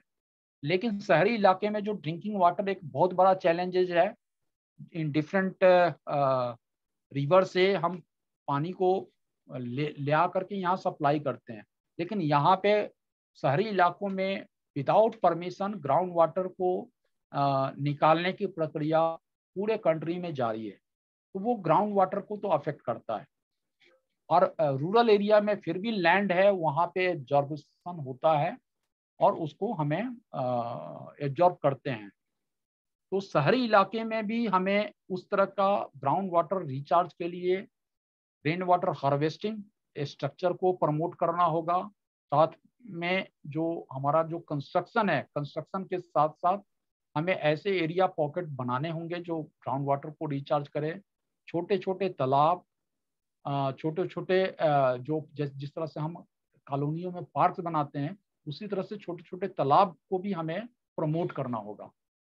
ग्रामीण इलाके में तो तालाब और बावरी ये सब होते हैं और उसको रिजोनेट करना पड़ेगा। कई लोग उसमें एक अदर प्रॉब्लम है कि लोग इंक्रोचमेंट कर लेते हैं। तालाब है जैसे दिल्ली में कितने सारे तालाब थे उसको इंक्रोचमेंट करके और कई सारे बिल्डर्स ने उसको इंक्रोचमेंट करके और सेल आउट कर दिया उसमें मकान खड़े हो गए। तो ये सब प्रॉब्लम्स को आ, एक साथ जुड़ा हुआ है उसको कैसे हम लोग डिफाइन करेंगे और उसको कैसे हम लोग को आ, रोकना होगा। तभी ये हीट वेव और जो ग्राउंड वाटर को रिचार्ज हम बढ़ा सकते हैं। Sir, uh, Nagarajan ji is asking what are the remedy of heat waves and how can we avoid heat, heat waves especially for children? या देखिए चिल्ड्रन के संदर्भ में एक तो आ, हम बात करते हैं कि प्राइमरी स्कूल के बच्चे हैं और एक उसके बाद सेकेंडरी से ऊपर जो कॉलेज लेवल के चिल्ड्रन है तो इन द जनरल प्रिकॉशनरी जो मेजर्स उनके साथ लिया जाता है कि during the heat wave period in different state में अलग अलग स्टेट गवर्नमेंट इसको गवर्न करती है। During the heat wave period उसका समर वेकेशन हो जाता है। कुछ स्टेट को अगर जैसे पता चलता है कि पंद्रह दिन पहले अगर हीट वेव आ गया तो उसको पंद्रह दिन पहले भी क्लोज कर देते हैं। जैसे इस साल बंगाल ने एक महीना पहले गर्मी का छुट्टी कर दिया। दूसरा चीज़ है कि हीट वेव आ, का जब आ, आ, बच्चे के ऊपर बहुत ज़्यादा इफ़ेक्ट पड़ता है। वो बच्चे को पता नहीं चलता है कि ये क्या टेम्परेचर है और कितना गर्मी फील करते हैं और बच्चे ज़्यादा उसको महसूस करते हैं। लेकिन बड़े लोग तो समझ जाते हैं कि ये हीट वेव का प्रभाव है, हमें ज़्यादा पानी पीना चाहिए, ऐसे और हम कैसे बच सकते हैं, छतरी लगाएँ, टोपी लगाएँ, ये। लेकिन बच्चे थोड़ा बाल मन होने के कारण वो इस चीज़ सब का प्रिकॉशन नहीं ले पाते। तो एक तो इफ़ेक्ट करता है। दूसरी चीज़ है कि कई लोग स्कूल क्लोजर होने के बावजूद भी जो कोचिंग इंस्टीट्यूट है, उनका भी एक बड़े पैमाने पे वो काम करते हैं और बोलते हैं कि हाँ स्कूल चलिए क्लोज हो गया तो आप दिन में ट्यूशन पढ़ने आ जाइए। तो ये एक भी बड़ा चैलेंज है कि उसको भी कैसे रिस्ट्रिक्ट किया जाए कि आप बच्चे को या तो घर पे आके पढ़ाना है तो पढ़ाइए अदरवाइज़ बाहर हम बच्चे को ड्यूरिंग द समर सीज़न हम मिड उसमें नहीं भेजेंगे। क्योंकि वो कोचिंग इंस्टीट्यूट ये मानते हैं कि हाँ स्कूल का टाइमिंग खत्म हो गया, अब स्कूल तो है नहीं, अब ग्यारह बजे आ जाइए, बारह बजे आ जाइए स्कूल तो जाना नहीं है। तो बच्चे भी उसमें जाने की कोशिश करते हैं। तो वो अफेक्टेड होता है। जैसे एक पंद्रह का उदाहरण है कि एक केंद्रीय विद्यालय का एक बच्चा ड्यूरिंग द स्कूल पीरियड में वो हीट वेव से गस्त खा करके और उसमें डेथ हो गया था। तो ये दो बच्चे उसमें डेथ हो गए थे। काफ़ी बच्चे हालाँकि हीट से अफेक्टेड हुए थे। उसके बाद ये रूल्स वहाँ पे स्टेट गवर्नमेंट ने तुरंत एक्शन ले करके और स्कूल को क्लोजर किया और क्लोजर करने के साथ साथ वो पॉलिसी बनाया कि during the heat wave period हम प्री समर वेकेशन घोषित कर सकते हैं। तो पॉलिसी लेवल पे है और इम्प्लीमेंटेशन लेवल पे है। और पब्लिक को भी समझना होगा। मैंने जो स्टूडेंट्स है या जो माता पिता है उनको during the heat wave period में हम कैसे अवॉइड कर सकते हैं। थैंक थैंक यू सर धन्यवाद सर हम आपका आभार प्रकट करते हैं। आपके इतने एलाबोरेट तरीके से आपने discussion sorry hello doctor Arjun am I audible yes sorry it's coming. Okay. Uh, can you hear me? हाँ हाँ यस यस धन्यवाद सर हम आपका आभार प्रकट करते हैं। आपके इतने एलाबोरेट डिस्कशन ने हमारा प्रभावी बनाने के लिए। और thank you so much Shri Srivastava ji for being with us thank you thank you Tikender sir ji, uh, please uh, wrap up uh, this session.